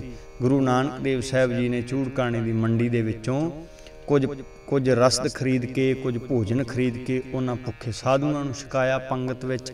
ਉੱਥੇ ਵੀ ਬਾਬੇ ਨਾਨਕ ਨੇ ਲੰਗਰ ਲਾ ਦਿੱਤਾ। ਰੋਟੀ ਪਾਣੀ ਛਕਾ ਕੇ ਗੁਰਮਤ ਦੀਆਂ ਗੱਲਾਂ ਸਮਝਾ ਕੇ ਉਹਨਾਂ ਨੂੰ ਪਰਮਾਰਥ ਦੇ ਸਿੱਧੇ ਰਸਤੇ ਦੇ ਉੱਤੇ ਗੁਰਮਤ ਦੀ ਰੌਸ਼ਨੀ ਵਿੱਚ ਮੇਰੇ ਗੁਰੂ ਨਾਨਕ ਨੇ ਤੋਰਿਆ, ਜਿਹਨੂੰ ਅਸੀਂ ਸੱਚਾ ਸੌਦਾ ਕਹਿ ਦਿੰਦੇ ਹਾਂ। ਬਾਬੇ ਨਾਨਕ ਨੇ ਸੱਚਾ ਸੌਦਾ ਕੀਤਾ। ਹੁਣ ਬਾਬੇ ਨਾਨਕ ਦੇ ਕੀਤੇ ਹੋਏ ਸੱਚੇ ਸੌਦੇ ਦੀ ਕਾਪੀ ਕਰਕੇ ਬੜੇ ਤਰ੍ਹਾਂ ਦੇ ਪਖੰਡੀ ਤੇ ਦੰਭੀ ਸਾਧ ਜਿਹੜਿਆਂ ਨੂੰ ਆਪਣਾ ਤੋਰੀ ਫੁਲਕਾ, ਤੋਰੀ ਖੜਿਆ ਉਹਨਾਂ ਦੀਆਂ ਤੇ ਸਾਧ ਸੰਗਤ ਜੀ ਗਲੀਆਂ ਸੜੀਆਂ ਮੂਲੀਆਂ ਵੀ ਜਿਹੜੀਆਂ ਹਨ 2-200 ਰੁਪਏ ਕਿਲੋ ਦੇ ਵਿੱਚ ਵਿਕੀ ਜਾਂਦੀਆਂ ਹਨ। ਪਰ ਜਿਹੜਾ ਸੱਚਾ ਸੌਦਾ ਮੇਰੇ ਬਾਬੇ ਨਾਨਕ ਨੇ ਕੀਤਾ, ਉਹ ਸੱਚ ਦਾ ਸੌਦਾ ਜਿਹੜਾ ਕੋਈ ਕੋਈ ਵਿਰਲਾ ਇਨਸਾਨ ਹੀ ਕਰ ਸਕਦਾ, ਬਾਕੀ ਤੇ ਸਾਰੇ ਠੱਗ ਸੌਦੇ ਵਾਲੇ ਹੀ ਹਨ। ਖੈਰ, ਸਾਧ ਸੰਗਤ ਜੀ, ਉਹ ਘਰ ਦੇ ਵਿੱਚ ਆ ਕੇ ਮੇਰੇ ਬਾਬੇ ਨੂੰ ਝਿੜਕਾਂ ਵੀ ਖਾਣੀਆਂ ਪਈਆਂ। ਪਿਤਾ ਦੇ ਗੁੱਸੇ ਦਾ ਵੀ ਸਾਹਮਣਾ ਕਰਨਾ ਪਿਆ। ਪਰ ਇਹ ਸਾਖੀ ਤੋਂ ਸਾਨੂੰ ਇਹ ਸੇਧ ਮਿਲਦੀ ਹੈ ਵੀ ਸਾਨੂੰ ਕੋਈ ਚੰਗਾ ਕਰਮ ਕਰਨ ਲੱਗਿਆਂ ਝਿੜਕਾਂ ਜਾਂ ਕਿਸੇ ਦੇ ਗੁੱਸੇ ਦਾ ਸ਼ਿਕਾਰ ਵੀ ਹੋਣਾ ਪਵੇ ਤੇ ਸਾਨੂੰ ਉਹ ਗੁੱਸੇ ਦਾ ਸ਼ਿਕਾਰ ਹੋ ਕੇ ਵੀ ਚੰਗਾ ਕਰਮ ਕਰਨਾ ਚਾਹੀਦਾ ਹੈ। ਸਾਨੂੰ ਹਰ ਇੱਕ ਦਾ ਮਦਦਗਾਰ ਔਰ ਉਸ ਮਨੁੱਖ ਦੇ ਉੱਤੇ ਜ਼ਰੂਰ ਤਰਸਗਾਰ ਬਣਨਾ ਚਾਹੀਦਾ ਹੈ, ਜਿਹੜਾ ਗੁਰਮਤ ਦੇ ਜਾਂ ਜਿਹੜਾ ਪਰਮੇਸ਼ਰ ਦੇ ਬਣਾਏ ਹੋਏ ਰਸਤੇ ਤੋਂ ਭਟਕ ਕੇ ਕਿਸੇ ਗਲਤ ਕਰਮ ਵਿੱਚ ਫਸ ਕੇ ਤੁਰਿਆ ਫਿਰਦਾ ਆਪਣੀ ਜ਼ਿੰਦਗੀ ਨੂੰ ਅਜਾਈ ਹੀ ਖਰਾਬ ਕਰ ਰਿਹਾ ਹੈ, ਅਜਾਈ ਹੀ ਵੇਸਟ ਕਰ ਰਿਹਾ ਹੈ। ਮੇਰੇ ਬਾਬੇ ਨਾਨਕ ਨੇ ਇਸ ਤਰ੍ਹਾਂ ਸੱਚਾ ਸੌਦਾ ਕੀਤਾ 20 ਰੁਪਏ ਦਾ ਲੰਗਰ, ਸਾਧ ਸੰਗਤ ਜੀ ਉਸ ਦਿਨ ਦਾ ਚਲਾਇਆ ਹੋਇਆ ਲੰਗਰ, ਉਸ 20 ਰੁਪਏ ਦੀ ਬਰਕਤ ਦੇ ਨਾਲ ਬਣਿਆ ਹੋਇਆ ਲੰਗਰ। ਅੱਜ ਤੱਕ ਹਜ਼ਾਰਾਂ ਮਨੁੱਖ ਗੁਰੂ ਘਰਾਂ ਦੇ ਵਿੱਚ ਉਸ ਲੰਗਰ ਨੂੰ ਉਸ 20 ਰੁਪਿਆਂ ਦੀ ਬਰਕਤ ਨਾਲ ਛਕ ਰਹੇ ਹਨ। ਤੇ ਗੁਰੂ ਦੀ ਬਾਣੀ ਦਾ ਇਹ ਫੈਸਲਾ ਹੈ, ਖਾਵਹਿ ਖਰਚਹਿ ਰਲ ਮਿਲ ਭਾਈ ਟੋਟ ਨਾ ਆਵੇ ਵਾਧੋ ਜਾਈ। ਸ਼ਬਦ ਅਖੁੱਟ ਬਾਬਾ ਨਾਨਕਾ, ਖਾਹੇ ਖਰਚ ਧਨ ਮਾਲ। ਸਾਰੇ ਰਲ ਮਿਲ ਕੇ ਉਸ ਲੰਗਰ ਨੂੰ ਅੱਜ ਤੱਕ ਛਕ ਰਹੇ ਹਨ। ਥੋੜੇ ਜਿਹੇ ਹੋਰ ਵੱਡੇ ਹੋਏ। ਸਾਧ ਸੰਗਤ ਜੀ, ਜਿਸ ਤਰ੍ਹਾਂ ਅਸੀਂ ਜਾਣਦੇ ਹਾਂ, ਉਹਨਾਂ ਦੀ ਸ਼ਾਦੀ ਹੋ ਗਈ। ਸ਼ਾਦੀ ਤੋਂ ਬਾਅਦ ਘਰ ਦੇ ਵਿੱਚ ਬੱਚੇ ਵੀ ਹੋਏ। ਕਿਸ ਤਰ੍ਹਾਂ ਗੁਰੂ ਨਾਨਕ ਦੇਵ ਸਾਹਿਬ ਜੀ ਨੂੰ ਜਦੋਂ ਵੇਖਿਆ ਵੀ ਘਰ ਦੇ ਵਿੱਚ ਕਿਸੇ ਕੰਮ ਵੱਲ ਗੁਰੂ ਨਾਨਕ ਦੇਵ ਸਾਹਿਬ ਜੀ ਨੂੰ ਉਹਨਾਂ ਦੇ ਪਿਤਾ ਲਾਉਣਾ ਚਾਹੁੰਦੇ ਹਨ, ਗੁਰੂ ਨਾਨਕ ਦੇਵ ਸਾਹਿਬ ਜੀ ਕੰਮ ਦੇ ਵਿੱਚ ਤਾਂ ਲੱਗੇ। ਪਰ ਜਿਵੇਂ ਪਿਤਾ ਚਾਹੁੰਦਾ ਸੀ ਵੀ ਇਹ ਸਿਰਫ ਉਸ ਕੰਮ ਨੂੰ ਸਮਰਪਿਤ ਹੋ ਕੇ ਮਾਇਆ ਨੂੰ ਕਮਾਉਣ ਤੱਕ ਸੀਮਿਤ ਹੋ ਜਾਣ ਮੇਰੇ ਗੁਰੂ ਨਾਨਕ ਨੇ ਉਸ ਕੰਮ ਦੇ ਵਿੱਚ ਖੁੱਭ ਕੇ ਆਪਣੇ ਆਪ ਨੂੰ ਉਹਦੇ ਵਿੱਚ ਹੀ ਅਭੇਦ ਨਹੀਂ ਕਰ ਲਿਆ। ਕੰਮ ਕਰਦਿਆਂ ਮੇਰਾ ਬਾਬਾ ਨਾਨਕ ਉਸ ਕਮਲ ਫੁੱਲ ਵਾਂਗੂ ਉਸ ਪਾਣੀ ਵਿੱਚ ਤਰਦੀ ਹੋਈ ਮਰਗਾਬੀ ਦੇ ਵਾਂਗੂ ਨਿਰਲੇਪ ਰਹਿੰਦਾ। ਹੈ ਪਿਤਾ ਨੂੰ ਇਹ ਗੱਲ ਪਸੰਦ ਨਹੀਂ ਹੈ। ਪਿਤਾ ਨੂੰ ਇਹ ਗੱਲ ਗਵਾਰਾ ਨਹੀਂ ਹੈ, ਭਾਉਂਦੀ ਨਹੀਂ ਹੈ। ਉਹ ਚਾਹੁੰਦੇ ਹਨ ਵੀ ਉਹ ਬਿਲਕੁਲ ਸੰਸਾਰੀ ਬਣ ਕੇ ਉਸ ਕੰਮ ਦੇ ਵਿੱਚ ਹੀ ਖਚਤ ਹੋ ਜਾਣ। ਇਸੇ ਬਹਾਨੇ ਉਹਨਾਂ ਨੇ ਆਪਣੀ ਬੇਟੀ ਬੇਬੇ ਨਾਨਕੀ ਦੇ ਕੋਲ ਉਹਨਾਂ ਨੂੰ ਸੁਲਤਾਨਪੁਰ ਭੋਜਿਆ, ਭੇਜਿਆ। ਉਹਨਾਂ ਦੇ ਜੀਜੇ ਦੇ ਥਾਂ ਤੇ ਲੱਗਦੇ ਬਾਬਾ ਜੈ ਰਾਮ ਜੀ ਨੇ ਸੁਲਤਾਨਪੁਰ ਦੇ ਉਸ ਲੋਧੀ ਦੇ ਕੋਲ ਉਹਨਾਂ ਨੂੰ ਮੋਦੀਖਾਨੇ ਦੇ ਵਿੱਚ ਮੋਦੀ ਦੀ ਕਿਰਤ ਦੇ ਉੱਤੇ ਲਾ ਦਿੱਤਾ। ਗੁਰੂ ਨਾਨਕ ਦੇਵ ਸਾਹਿਬ ਜੀ ਜਦੋਂ ਮੋਦੀ ਦੀ ਪੋਸਟ ਦੇ ਉੱਤੇ ਉੱਥੇ ਭਰਤੀ ਹੋਏ, ਉੱਥੇ ਕਾਰਜ ਸੰਭਾਲਿਆ, ਚਾਰਜ ਸੰਭਾਲਿਆ ਤੇ ਵੇਖਿਆ ਗਿਆ ਵੀ ਦਿਨਾਂ ਦੇ ਵਿੱਚ ਹੀ ਮੋਦੀਖਾਨੇ ਦੀ ਜਿਹੜੀ ਇਨਕਮਿੰਗ ਹੈ ਜਿਹੜੇ ਖਰਚ ਹੈ, ਜਿਹੜਾ ਲੇਖਾ ਜੋਖਾ ਹੈ, ਉਹਦੇ ਵਿੱਚ ਬੜਾ ਭਾਰੀ ਅੰਤਰ ਨਿਕਲਿਆ। ਕਿਉਂ? ਕਿਉਂਕਿ ਪਹਿਲਾਂ ਦੇ ਜਿਤਨੇ ਮੋਦੀ ਸਨ, ਉਹ ਸਾਰੇ ਵੱਡੀ ਖੋਰ ਸਨ। ਪਹਿਲਾਂ ਵਾਲੇ ਜਿੰਨੇ ਮੋਦੀ ਸਨ, ਉਹ ਸਾਰੇ ਰਿਸ਼ਵਤਖੋਰ ਸਨ ਚੀਟਰ ਸਨ ਸਾਰੇ। ਗੁਰੂ ਨਾਨਕ ਦੇਵ ਸਾਹਿਬ ਜੀ ਇਮਾਨਦਾਰੀ ਦੇ ਨਾਲ ਕੰਮ ਕਰਦੇ ਸਨ। ਇਸ ਕਰਕੇ ਮੋਦੀ ਖਾਨੇ ਦਾ ਬਜਟ ਜਿਹੜਾ ਹੈ, ਪਿਛਲੇ ਮੋਦੀਆਂ ਦੇ ਨਾਲੋਂ ਜ਼ਿਆਦਾ ਹੋ ਗਿਆ। ਪਰ ਤੁਹਾਡੇ ਗਿਆਤ ਲਈ ਮੈਂ ਦੱਸ ਦਿਆਂ ਕਿ ਉਹਨਾਂ ਸਮਿਆਂ ਦੇ ਵਿੱਚ ਮੋਦੀ ਨੂੰ ਜਿਹੜੀ ਉਹਦੀ ਤਨਖਾਹ ਦਿੱਤੀ ਜਾਂਦੀ ਸੀ, ਉਹ ਜਿਣਸ ਦੇ ਵਿੱਚ ਦਿੱਤੀ ਜਾਂਦੀ ਸੀ। ਕਣਕ ਦੇ ਦਿੱਤੀ, ਝੋਨਾ ਦੇ ਦਿੱਤਾ, ਨਰਮਾ ਦੇ ਦਿੱਤਾ, ਮੱਕੀ ਦੇ ਦਿੱਤੀ, ਬਾਜਰਾ। ਜਿੱਦਾਂ ਦੀ ਜਿਣਸ ਆਉਣੀ ਉਦਾਂ ਦਾ ਮੋਦੀ ਖਾਨ, ਮੋਦੀ ਖਾਨੇ ਦੇ ਮੋਦੀ ਨੂੰ ਤਨਖਾਹ ਦੇ ਦਿੱਤੀ ਜਾਂਦੀ ਸੀ। ਗੁਰੂ ਨਾਨਕ ਦੇਵ ਸਾਹਿਬ ਜੀ ਨੂੰ ਵੀ ਤਨਖਾਹ ਦੇ ਵਿੱਚ ਰਸਦ ਮਿਲਣੀ, ਤਨਖਾਹ ਦੇ ਵਿੱਚ ਸਾਧ ਸੰਗਤ ਜੀ ਜਿਣਸ ਮਿਲ ਜਾਣੀ। ਗੁਰੂ ਨਾਨਕ ਦੇਵ ਸਾਹਿਬ ਜੀ ਨੂੰ ਜਿਹੜੀ ਜਿਣਸ ਮਿਲਣੀ ਮੇਰੇ ਬਾਬੇ ਨੇ ਆਪਣੇ ਘਰ ਦੇ ਗੁਜ਼ਾਰੇ ਜੋਗੀ ਰੱਖ ਕੇ ਬਾਕੀ ਸਾਰੀ ਗਰੀਬਾਂ ਨੂੰ ਵਰਤਾ ਦੇਣੀ, ਗਰੀਬਾਂ ਵਿੱਚ ਵੰਡ ਦੇਣੀ, ਲੋੜਵੰਦਾਂ ਨੂੰ ਦੇ ਦੇਣੀ। ਜਦੋਂ ਇਸ ਤਰ੍ਹਾਂ ਸੁਲਤਾਨਪੁਰ ਦੇ ਵਿੱਚ ਰੌਣਕਾਂ ਲੱਗ ਗਈਆਂ, ਗਰੀਬਾਂ ਦੇ ਘਰ ਵਿੱਚ ਵੀ ਅਨਾਜ ਪੱਕਣ ਲੱਗ ਪਿਆ, ਗਰੀਬ ਵੀ ਢਿੱਡ ਭਰ ਕੇ ਸੌਣ ਲੱਗ ਪਏ। ਬੇਈਮਾਨ ਲੋਕਾਂ ਨੂੰ ਇਸ ਗੱਲ ਦੇ ਵਿੱਚ ਬੜੀ ਈਰਖਾ ਆਈ ਉਹਨਾਂ ਨੇ ਬੜੀ ਇਸ ਗੱਲ ਦੇ ਨਾਲ ਈਗੋ ਮਹਿਸੂਸ ਕੀਤੀ। ਉਹਨਾਂ ਨੇ ਲੋਧੀ ਦੇ ਕੋਲ ਜਾ ਕੇ ਗੁਰੂ ਨਾਨਕ ਦੇਵ ਸਾਹਿਬ ਜੀ ਦੀ ਚੁਗਲੀ ਲਾਈ। ਵੀ ਵੇਖੋ ਜੀ, ਤੁਹਾਡੇ ਉਹ ਮੋਦੀ ਖਾਨੇ ਨੂੰ ਲੁਟਾ ਰਹੇ ਨੇ। ਦਿਨ ਰਾਤ ਉੱਥੇ ਗਰੀਬ ਤੇ ਲੋੜਵੰਦ ਲਾਈਨਾਂ ਲਾ ਕੇ ਬੈਠੇ ਰਹਿੰਦੇ ਹਨ। ਇਸ ਇਲਾਕੇ ਵਿੱਚ ਤੇ ਗੁਰੂ ਨਾਨਕ ਦੇਵ ਸਾਹਿਬ ਜੀ ਦੀ ਬਹੁਤ ਭਾਰੀ ਸ਼ੋਭਾ ਹੋ ਰਹੀ ਹੈ। ਉਹ ਤੇ ਜੀ ਤੁਹਾਡੇ ਮੋਦੀ ਖਾਨੇ ਦੇ ਵਿੱਚੋਂ ਜਿੰਸਾਂ ਜਿਹੜੀਆਂ ਹਨ, ਐਵੇਂ ਜਣੇ ਖਣੇ ਨੂੰ ਫੜਾਈ ਜਾਂਦੇ। ਸਾਰਾ ਮੋਦੀ ਖਾਨੇ ਦਾ ਹਿਸਾਬ ਕਿਤਾਬ ਕੀਤਾ ਗਿਆ। ਗੁਰੂ ਨਾਨਕ ਦੇਵ ਸਾਹਿਬ ਜੀ ਨੇ ਸਾਰਾ ਹਿਸਾਬ ਕਿਤਾਬ ਇੱਕ ਇੱਕ ਪਾਈ ਦਾ ਜਿਹੜਾ ਹੈ, ਉਸ ਲੋਧੀ ਨੂੰ ਦਿੱਤਾ। ਜਦੋਂ ਸਾਰਾ ਹਿਸਾਬ ਕਿਤਾਬ ਪੂਰਾ ਹੋਇਆ ਤੇ ਭਾਈ ਸੰਤੋਖ ਸਿੰਘ ਜੀ ਨੇ ਉਹਨਾਂ ਰੁਪਿਆਂ ਦੀ ਗਿਣਤੀ ਵੀ ਦੱਸੀ ਵੀ ਇੰਨੇ ਰੁਪਏ, ਇੰਨੇ ਪੈਸੇ ਗੁਰੂ ਨਾਨਕ ਦੇਵ ਸਾਹਿਬ ਜੀ ਦਾ ਹਿਸਾਬ ਕਿਤਾਬ ਕਰਨ ਤੋਂ ਬਾਅਦ ਲੋਧੀ ਦੇ ਵੱਲ ਫਿਰ ਵੀ ਵੱਧ ਗਏ। ਪਰ ਉਸ ਲੋਧੀ ਦੇ ਕੋਲ ਗੁਰੂ ਨਾਨਕ ਦੇਵ ਸਾਹਿਬ ਜੀ ਨੇ ਹੁਣ ਮੋਦੀਖਾਨੇ ਵਿੱਚ ਕੰਮ ਕਰਨ ਤੋਂ ਇਨਕਾਰ ਕਰ ਦਿੱਤਾ, ਜਿੱਥੇ ਸ਼ੱਕ ਪੈਦਾ ਹੋ ਜਾਏ ਜਿੱਥੇ ਡਾਊਟ ਪੈਦਾ ਹੋ ਜਾਏ, ਉੱਥੇ ਭਰੋਸਾ ਖਤਮ ਹੋ ਜਾਂਦਾ ਹੈ। ਤੁਸੀਂ ਐਡਾ ਇਮਾਨਦਾਰੀ ਦੇ ਨਾਲ ਕੰਮ ਕਰਨ ਦੇ ਬਾਵਜੂਦ ਇਹਨਾਂ ਲੋਕਾਂ ਦੇ ਪਿੱਛੇ ਲੱਗ ਕੇ, ਉਹ ਵੀ ਬੇਈਮਾਨ ਲੋਕਾਂ ਦੇ, ਤੁਸੀਂ ਮੇਰੀ ਸੱਚੀ ਸੁੱਚੀ ਕਿਰਤ ਦੇ ਉੱਤੇ ਸ਼ੱਕ ਕੀਤਾ, ਇਸ ਕਰਕੇ ਮੈਂ ਹੁਣ ਇਸ ਮੋਦੀ ਖਾਨੇ ਵਿੱਚ ਕੰਮ ਨਹੀਂ ਕਰਾਂਗਾ। ਰੋਜ਼ਾਨਾ ਦਾ ਰੁਟੀਨ ਗੁਰੂ ਨਾਨਕ ਦੇਵ ਸਾਹਿਬ ਜੀ ਦਾ ਹੁੰਦਾ ਸੀ ਵੀ ਉਹ ਰੋਜ਼ਾਨਾ ਵੇਈ ਨਦੀ ਵਿੱਚ ਇਸ਼ਨਾਨ ਕਰਨ ਲਈ ਜਾਂਦੇ ਸਨ। ਇੱਕ ਦਿਨ ਐਸਾ ਸਬਬ ਬਣਿਆ ਗੁਰੂ ਨਾਨਕ ਦੇਵ ਸਾਹਿਬ ਜੀ ਵੇਈ ਨਦੀ ਵਿੱਚ ਇਸ਼ਨਾਨ ਕਰਨ ਗਏ ਤੇ ਉੱਥੋਂ ਵਾਪਸ ਨਾ ਆਏ। ਘੰਟਾ ਉਡੀਕ 2 ਘੰਟੇ ਉਡੀਕ ਤੇ ਉਥੋਂ ਬਾਬਾ ਮਰਦਾਨਾ ਜੀ ਘਰ ਦੇ ਵਿੱਚ ਮੁੜ ਆਏ ਵਾਪਸ। ਆ ਕੇ ਕਹਿਣ ਲੱਗੇ, ਗੁਰੂ ਨਾਨਕ ਦੇਵ ਸਾਹਿਬ ਜੀ ਦੇ ਕੱਪੜੇ ਤਾਂ ਕੰਢੇ ਤੇ ਪਏ, ਮੈਂ ਕੱਪੜਿਆਂ ਦੀ ਰਾਖੀ ਤਾਂ ਬੈਠਾ ਰਿਹਾ, ਪਰ ਬਾਬਾ ਮੁੜਿਆ ਨਹੀਂ। ਉਥੋਂ ਦੇ ਮੋਤਵਾਰ ਸਜਣਾ ਨੇ ਗੁਰੂ ਨਾਨਕ ਦੇਵ ਸਾਹਿਬ ਜੀ ਨਾਲ ਪਿਆਰ ਕਰਨ ਵਾਲੀ ਸੰਗਤ ਨੇ ਗੁਰੂ ਨਾਨਕ ਦੇਵ ਸਾਹਿਬ ਜੀ ਨੂੰ ਉਸ ਨਦੀ ਦੇ ਵਿੱਚ ਢੂੰਡਣਾ ਚਾਹਿਆ। ਕੁਝ ਗੋਤਾਖੋਰ ਵੀ ਛੱਡੇ ਗਏ, ਕੁਝ ਪਾਣੀ ਦੇ ਵਿੱਚ ਤਰਨ ਵਾਲੇ, ਕੁਝ ਗੋਤਾਖੋਰ ਉਸ ਨਦੀ ਦੇ ਵਿੱਚ ਗੁਰੂ ਨਾਨਕ ਦੇਵ ਸਾਹਿਬ ਜੀ ਨੂੰ ਲੱਭਣ ਲਈ ਤੁਰੇ। ਸਾਰੇ ਰੋਂਦੇ ਹਨ, ਸਾਰੇ ਉਦਾਸ ਹਨ, ਪਰ ਬੇਬੇ ਨਾਨਕੀ ਦੇ ਚਿਹਰੇ ਦੇ ਉੱਤੇ ਗਮਗੀਨਤਾ ਨਹੀਂ ਹੈ। ਬੇਬੇ ਨਾਨਕੀ ਦੇ ਚਿਹਰੇ ਦੇ ਉੱਤੇ ਉਦਾਸੀ ਨਹੀਂ ਹੈ। ਸਾਰਿਆਂ ਨੇ ਪੁੱਛਿਆ ਵੀ ਤੁਹਾਡਾ ਵੀਰ ਜਿਹੜਾ ਪਾਣੀ ਵਿੱਚ ਡੁੱਬ ਗਿਆ ਹੈ। ਸਾਰੇ ਉਦਾਸ ਹਨ ਉਹਨਾਂ ਨੂੰ ਪਿਆਰ ਕਰਨ ਵਾਲੇ ਤੇ ਤੁਸੀਂ ਚਿਹਰੇ ਦੇ ਉੱਤੇ ਉਦਾਸੀ ਨਹੀਂ ਲਿਆਉਂਦੇ ਹੋ। ਕਿਉਂ? ਬੇਬੇ ਨਾਨਕੀ ਨੇ ਭਰੋਸੇ ਵਿੱਚ ਆ ਕੇ ਕਿਹਾ ਕਿ ਮੇਰਾ ਵੀਰ ਇਸ ਧਰਤੀ ਦੇ ਉੱਤੇ ਇਸ ਕਰਕੇ ਪੈਦਾ ਹੋਇਆ ਹੈ ਕਿ ਉਹ ਡੁੱਬਦੇ ਰੁੜਦੇ ਸੰਸਾਰ ਨੂੰ ਬਚਾ ਸਕੇ। ਮੇਰਾ ਵੀਰ ਇਸ ਜਗਤ ਜਲੰਦੇ ਨੂੰ ਤਾਰਨ ਦੇ ਲਈ ਬਣਿਆ ਹੈ। ਤੇ ਇਹ ਨਿੱਕੀ ਜੀ ਪਾਣੀ ਦੀ ਨਦੀ ਮੇਰੇ ਗੁਰੂ, ਮੇਰੇ ਵੀਰ ਨੂੰ ਕਿਸ ਤਰ੍ਹਾਂ ਡੋਬ ਸਕਦੀ ਹੈ? ਇਸ ਪਾਣੀ ਵਿੱਚ ਇੰਨੀ ਸਮਰੱਥਾ ਨਹੀਂ ਹੈ ਕਿ ਉਹ ਮੇਰੇ ਗੁਰੂ ਨਾਨਕ ਨੂੰ, ਮੇਰੇ ਮੇਰੇ ਗੁਰੂ ਵੀਰ ਨੂੰ ਡੁਬੋ ਸਕੇ। ਮੇਰਾ ਮੇਰਾ ਵੀਰ ਤੇ ਇਸ ਕਰਕੇ ਇਸ ਧਰਤੀ ਤੇ ਆਗਮਨ ਲੈ ਕੇ ਆਇਆ ਹੈ ਕਿ ਉਹ ਡੁੱਬਦੇ ਹੋਏ ਸੰਸਾਰ ਨੂੰ ਤਾਰ ਸਕੇ। ਤੇ ਜੋ ਆਪ ਹੀ ਡੁੱਬ ਪਿਆ, ਡੁੱਬ ਗਿਆ ਤੇ ਸੰਸਾਰ ਨੂੰ ਕਿਸ ਤਰ੍ਹਾਂ ਤਾਰੇਗਾ? ਭਾਈ ਗੁਰਦਾਸ ਜੀ ਨੇ ਉਸ ਗੱਲ ਦਾ ਜ਼ਿਕਰ ਆਪਣੀ ਵਾਰ ਵਿੱਚ ਕੀਤਾ। ਬਾਬਾ ਪਹਿਦਾ ਸੱਚਖੰਡ ਨੌਨਿਦ ਨਾਮ ਗਰੀਬੀ ਪਾਈ ਪਰਮੇਸ਼ਰ ਦੀ ਹਜ਼ੂਰੀ ਵਿੱਚ ਗਏ। ਉਥੋਂ ਸਾਧ ਸੰਗਤ ਜੀ ਅਸੀਸ ਲਈ, ਗਰੀਬੀ ਦੀ ਦਾਤ ਲਈ, ਪਰਮੇਸ਼ਰ ਦੀ ਇਬਾਦਤ ਤੇ ਬਰਕਤਾਂ ਲੈ ਕੇ ਗੁਰੂ ਨਾਨਕ ਦੇਵ ਸਾਹਿਬ ਜੀ ਫਿਰ ਵੇਈ ਨਦੀ ਚੋਂ ਪ੍ਰਗਟ ਹੋਏ। ਜਦੋਂ ਵੇਈ ਚੋਂ ਪ੍ਰਗਟ ਹੋਏ, ਭਾਈ ਮਰਦਾਨੇ ਨੂੰ ਨਾਲ ਲਿਆ ਤੇ ਭਾਈ ਮਰਦਾਨੇ ਨੂੰ ਨਾਲ ਲੈ ਕੇ ਸਭ ਤੋਂ ਪਹਿਲਾਂ ਗੁਰੂ ਨਾਨਕ ਦੇਵ ਸਾਹਿਬ ਜੀ ਨੇ ਸ਼ਮਸ਼ਾਨ ਘਾਟ ਵਿੱਚ ਜਾ ਕੇ ਟਿਕਾਣਾ ਕਰ ਲਿਆ। ਲੋਕਾਂ ਵਿੱਚ ਰੌਲਾ ਪੈ ਗਿਆ ਵੀ ਇਹ ਮੁਰਦਾ ਉੱਠ ਖਲੋਇਆ ਹੈ, ਕੋਈ ਕਵੇ ਇਹਦੇ ਵਿੱਚ ਭੂਤ ਆ ਗਿਆ ਹੈ, ਕੋਈ ਕਵੇ ਇਹਨਾਂ ਦੀ ਮਾਨਸਿਕ ਸਥਿਤੀ ਖਰਾਬ ਹੋ ਗਈ ਹੈ, ਦਿਮਾਗੀ ਤੌਰ ਤੇ ਪਾਗਲ ਹੋ ਗਏ ਤਰ੍ਹਾਂ ਤਰ੍ਹਾਂ ਦੀਆਂ ਲੋਕਾਂ ਲੋਕਾਂ ਗੱਲਾਂ ਕੀਤੀਆਂ। ਮੇਰੇ ਬਾਬੇ ਨੇ ਉਹਨਾਂ ਲੋਕਾਂ ਦੇ ਕਹੇ ਹੋਏ ਬੋਲ ਆਪਣੀ ਬਾਣੀ ਵਿੱਚ ਅੰਕਿਤ ਕੀਤੇ।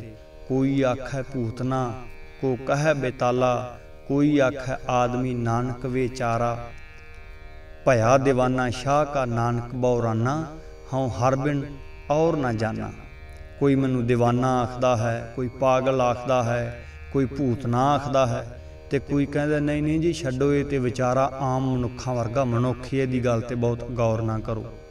ਗੁਰੂ ਨਾਨਕ ਦੇਵ ਸਾਹਿਬ ਜੀ ਨੇ ਗੁਰਮਤ ਪ੍ਰਚਾਰ ਦੀ ਪ੍ਰਾਰੰਭਤਾ ਸ਼ਮਸ਼ਾਨ ਘਾਟ ਤੋਂ ਕੀਤੀ।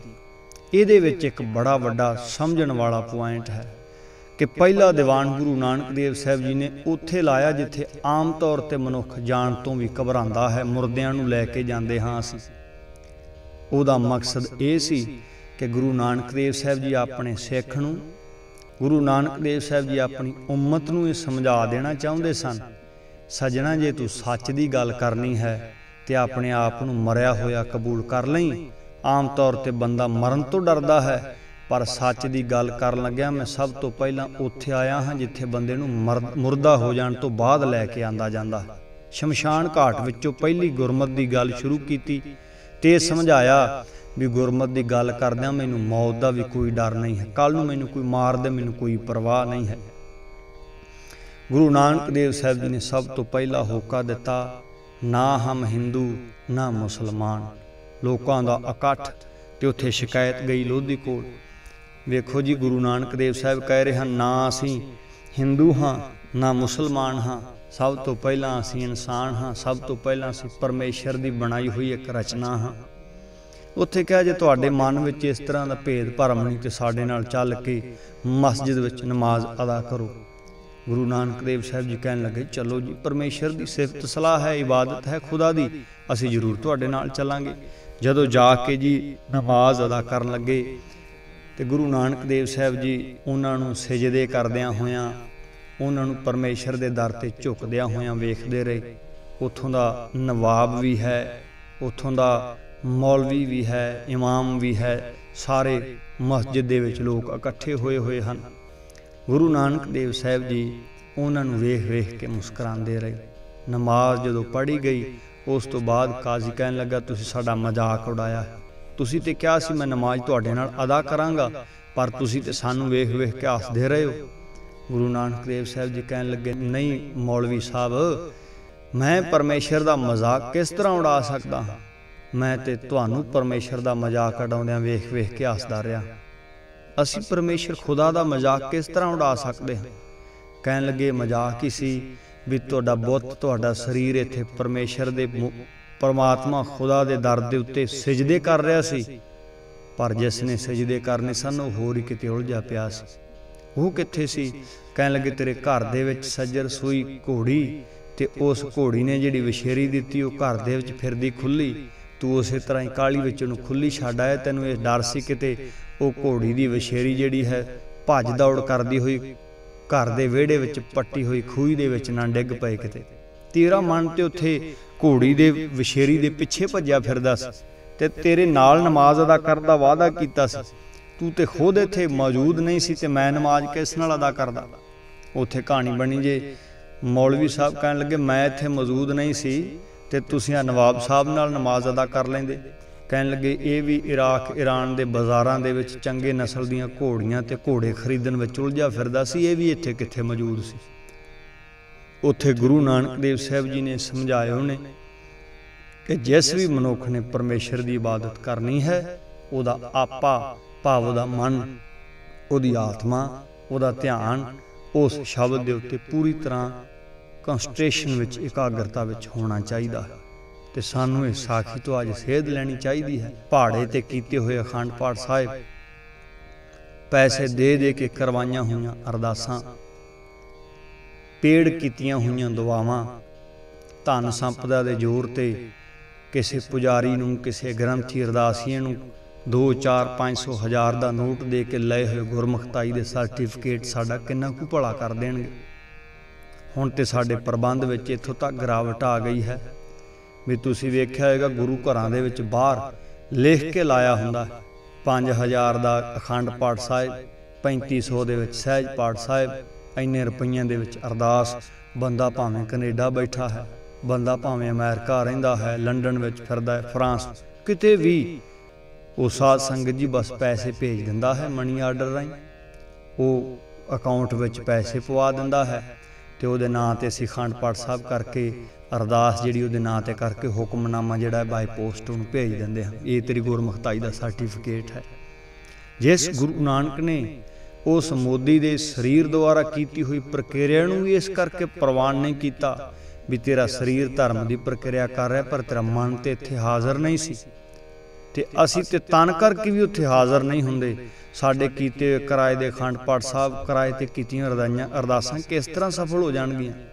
ਗੁਰੂ ਨਾਨਕ ਦੇਵ ਸਾਹਿਬ ਜੀ ਨੇ ਗੁਰੂ ਗ੍ਰੰਥ ਸਾਹਿਬ ਦੀ ਬਾਣੀ ਵਿੱਚ ਜਪ ਬਾਣੀ ਵਿੱਚ ਇਹ ਗੱਲ ਪਹਿਲਾਂ ਤੇ ਸੁਣਿਆ ਦੀ ਗੱਲ ਕੀਤੀ, ਫਿਰ ਮੰਨਿਆ ਦੀ ਗੱਲ ਕੀਤੀ ਫਿਰ ਮੰਨ ਕੇ ਉਹਦੇ ਉੱਤੇ ਭਾਵ ਪ੍ਰੇਮ ਕਰਕੇ ਉਹਦੇ ਉੱਤੇ ਚੱਲਣ ਦਾ ਸੰਕਲਪ ਦ੍ਰਿੜ ਕਰਵਾਇਆ ਹੈ। ਤੇ ਅਸੀਂ ਬਾਣੀ ਨਾ ਆਪ ਪੜ੍ਹੀ, ਨਾ ਆਪ ਸੁਣੀ ਤੇ ਨਾ ਅਸੀਂ ਉਹਦੇ ਉੱਤੇ ਉਹਨੂੰ ਮੰਨ ਕੇ ਚੱਲਣ ਦਾ ਸੰਕਲਪ ਲਿਆ ਤੇ ਅਸੀਂ ਫਿਰ ਕਿਸ ਤਰ੍ਹਾਂ ਕਹਿ ਸਕਦੇ ਹਾਂ ਜੀ ਸਾਡੀਆਂ ਕੀਤੀਆਂ ਅਰਦਾਸਾਂ ਸਾਡੇ ਕੀਤੇ ਪਾਠ ਸਫਲ ਹੋ ਜਾਂਦੇ ਹਨ। ਇਸ ਕਰਕੇ ਸਾਧ ਸੰਗਤ ਜੀ, ਕੋਸ਼ਿਸ਼ ਕਰੋ ਬਾਣੀ ਆਪ ਪੜੋ ਪੜ ਕੇ ਉਹਦੇ ਭਾਵ ਨੂੰ ਸਮਝੀਏ ਤੇ ਉਹਦੇ ਭਾਵ ਨੂੰ ਸਮਝ ਕੇ ਉਹਦੇ ਉੱਤੇ ਚੱਲਣ ਦੇ ਲਈ ਗੁਰੂ ਚਰਨਾਂ ਵਿੱਚ ਅਰਦਾਸ ਕਰੀਏ। ਕਿ ਪੜੇ ਹੋਏ ਸ਼ਬਦ ਨੂੰ ਕਮਾਉਣ ਦੇ ਲਈ ਤੂੰ ਕਿਰਪਾ ਕਰਕੇ ਸਾਨੂੰ ਸਮਰੱਥਾ ਦੇ, ਸਾਨੂੰ ਬਲ ਦੇ, ਤਾਂ ਕਿ ਅਸੀਂ ਤੇਰੀ ਸਿੱਖਿਆ ਦੇ ਉੱਤੇ ਚੱਲ ਕੇ ਇਹੋ ਲੋਕ ਸੁਖੀਏ, ਪਰਲੋਕ ਸੁਹੇਲੇ, ਨਾਨਕ ਹਰ ਪ੍ਰਭ ਆਪੇ ਮੇਲੇ ਦੀ ਦਾਤ ਲੈ ਸਕੀਏ। ਸਾਧ ਸੰਗਤ ਜੀ, ਉਸ ਤੋਂ ਬਾਅਦ ਗੁਰੂ ਨਾਨਕ ਦੇਵ ਸਾਹਿਬ ਜੀ ਨੇ ਉਦਾਸੀਆਂ ਪ੍ਰਚਾਰਕ ਟੂਰ ਸ਼ੁਰੂ ਕੀਤੇ। ਗੁਰੂ ਨਾਨਕ ਦੇਵ ਸਾਹਿਬ ਜੀ ਨੂੰ ਪੁੱਛਿਆ ਵੀ ਗਿਆ ਵੀ ਤੁਸੀਂ ਉਦਾਸੀਆਂ ਕਿਉਂ ਕੀਤੀਆਂ?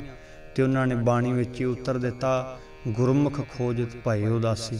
ਵੀ ਅਸੀਂ ਗੁਰਸਿੱਖਾਂ ਨੂੰ, ਗੁਰਮੁਖਾਂ ਨੂੰ, ਗੁਰੂ ਦੀ ਗੱਲ ਨੂੰ ਲੱਭਣ ਦੇ ਲਈ ਉਦਾਸੀਆਂ ਪ੍ਰਚਾਰਕ ਟੂਰ ਕੀਤੇ ਹਨ।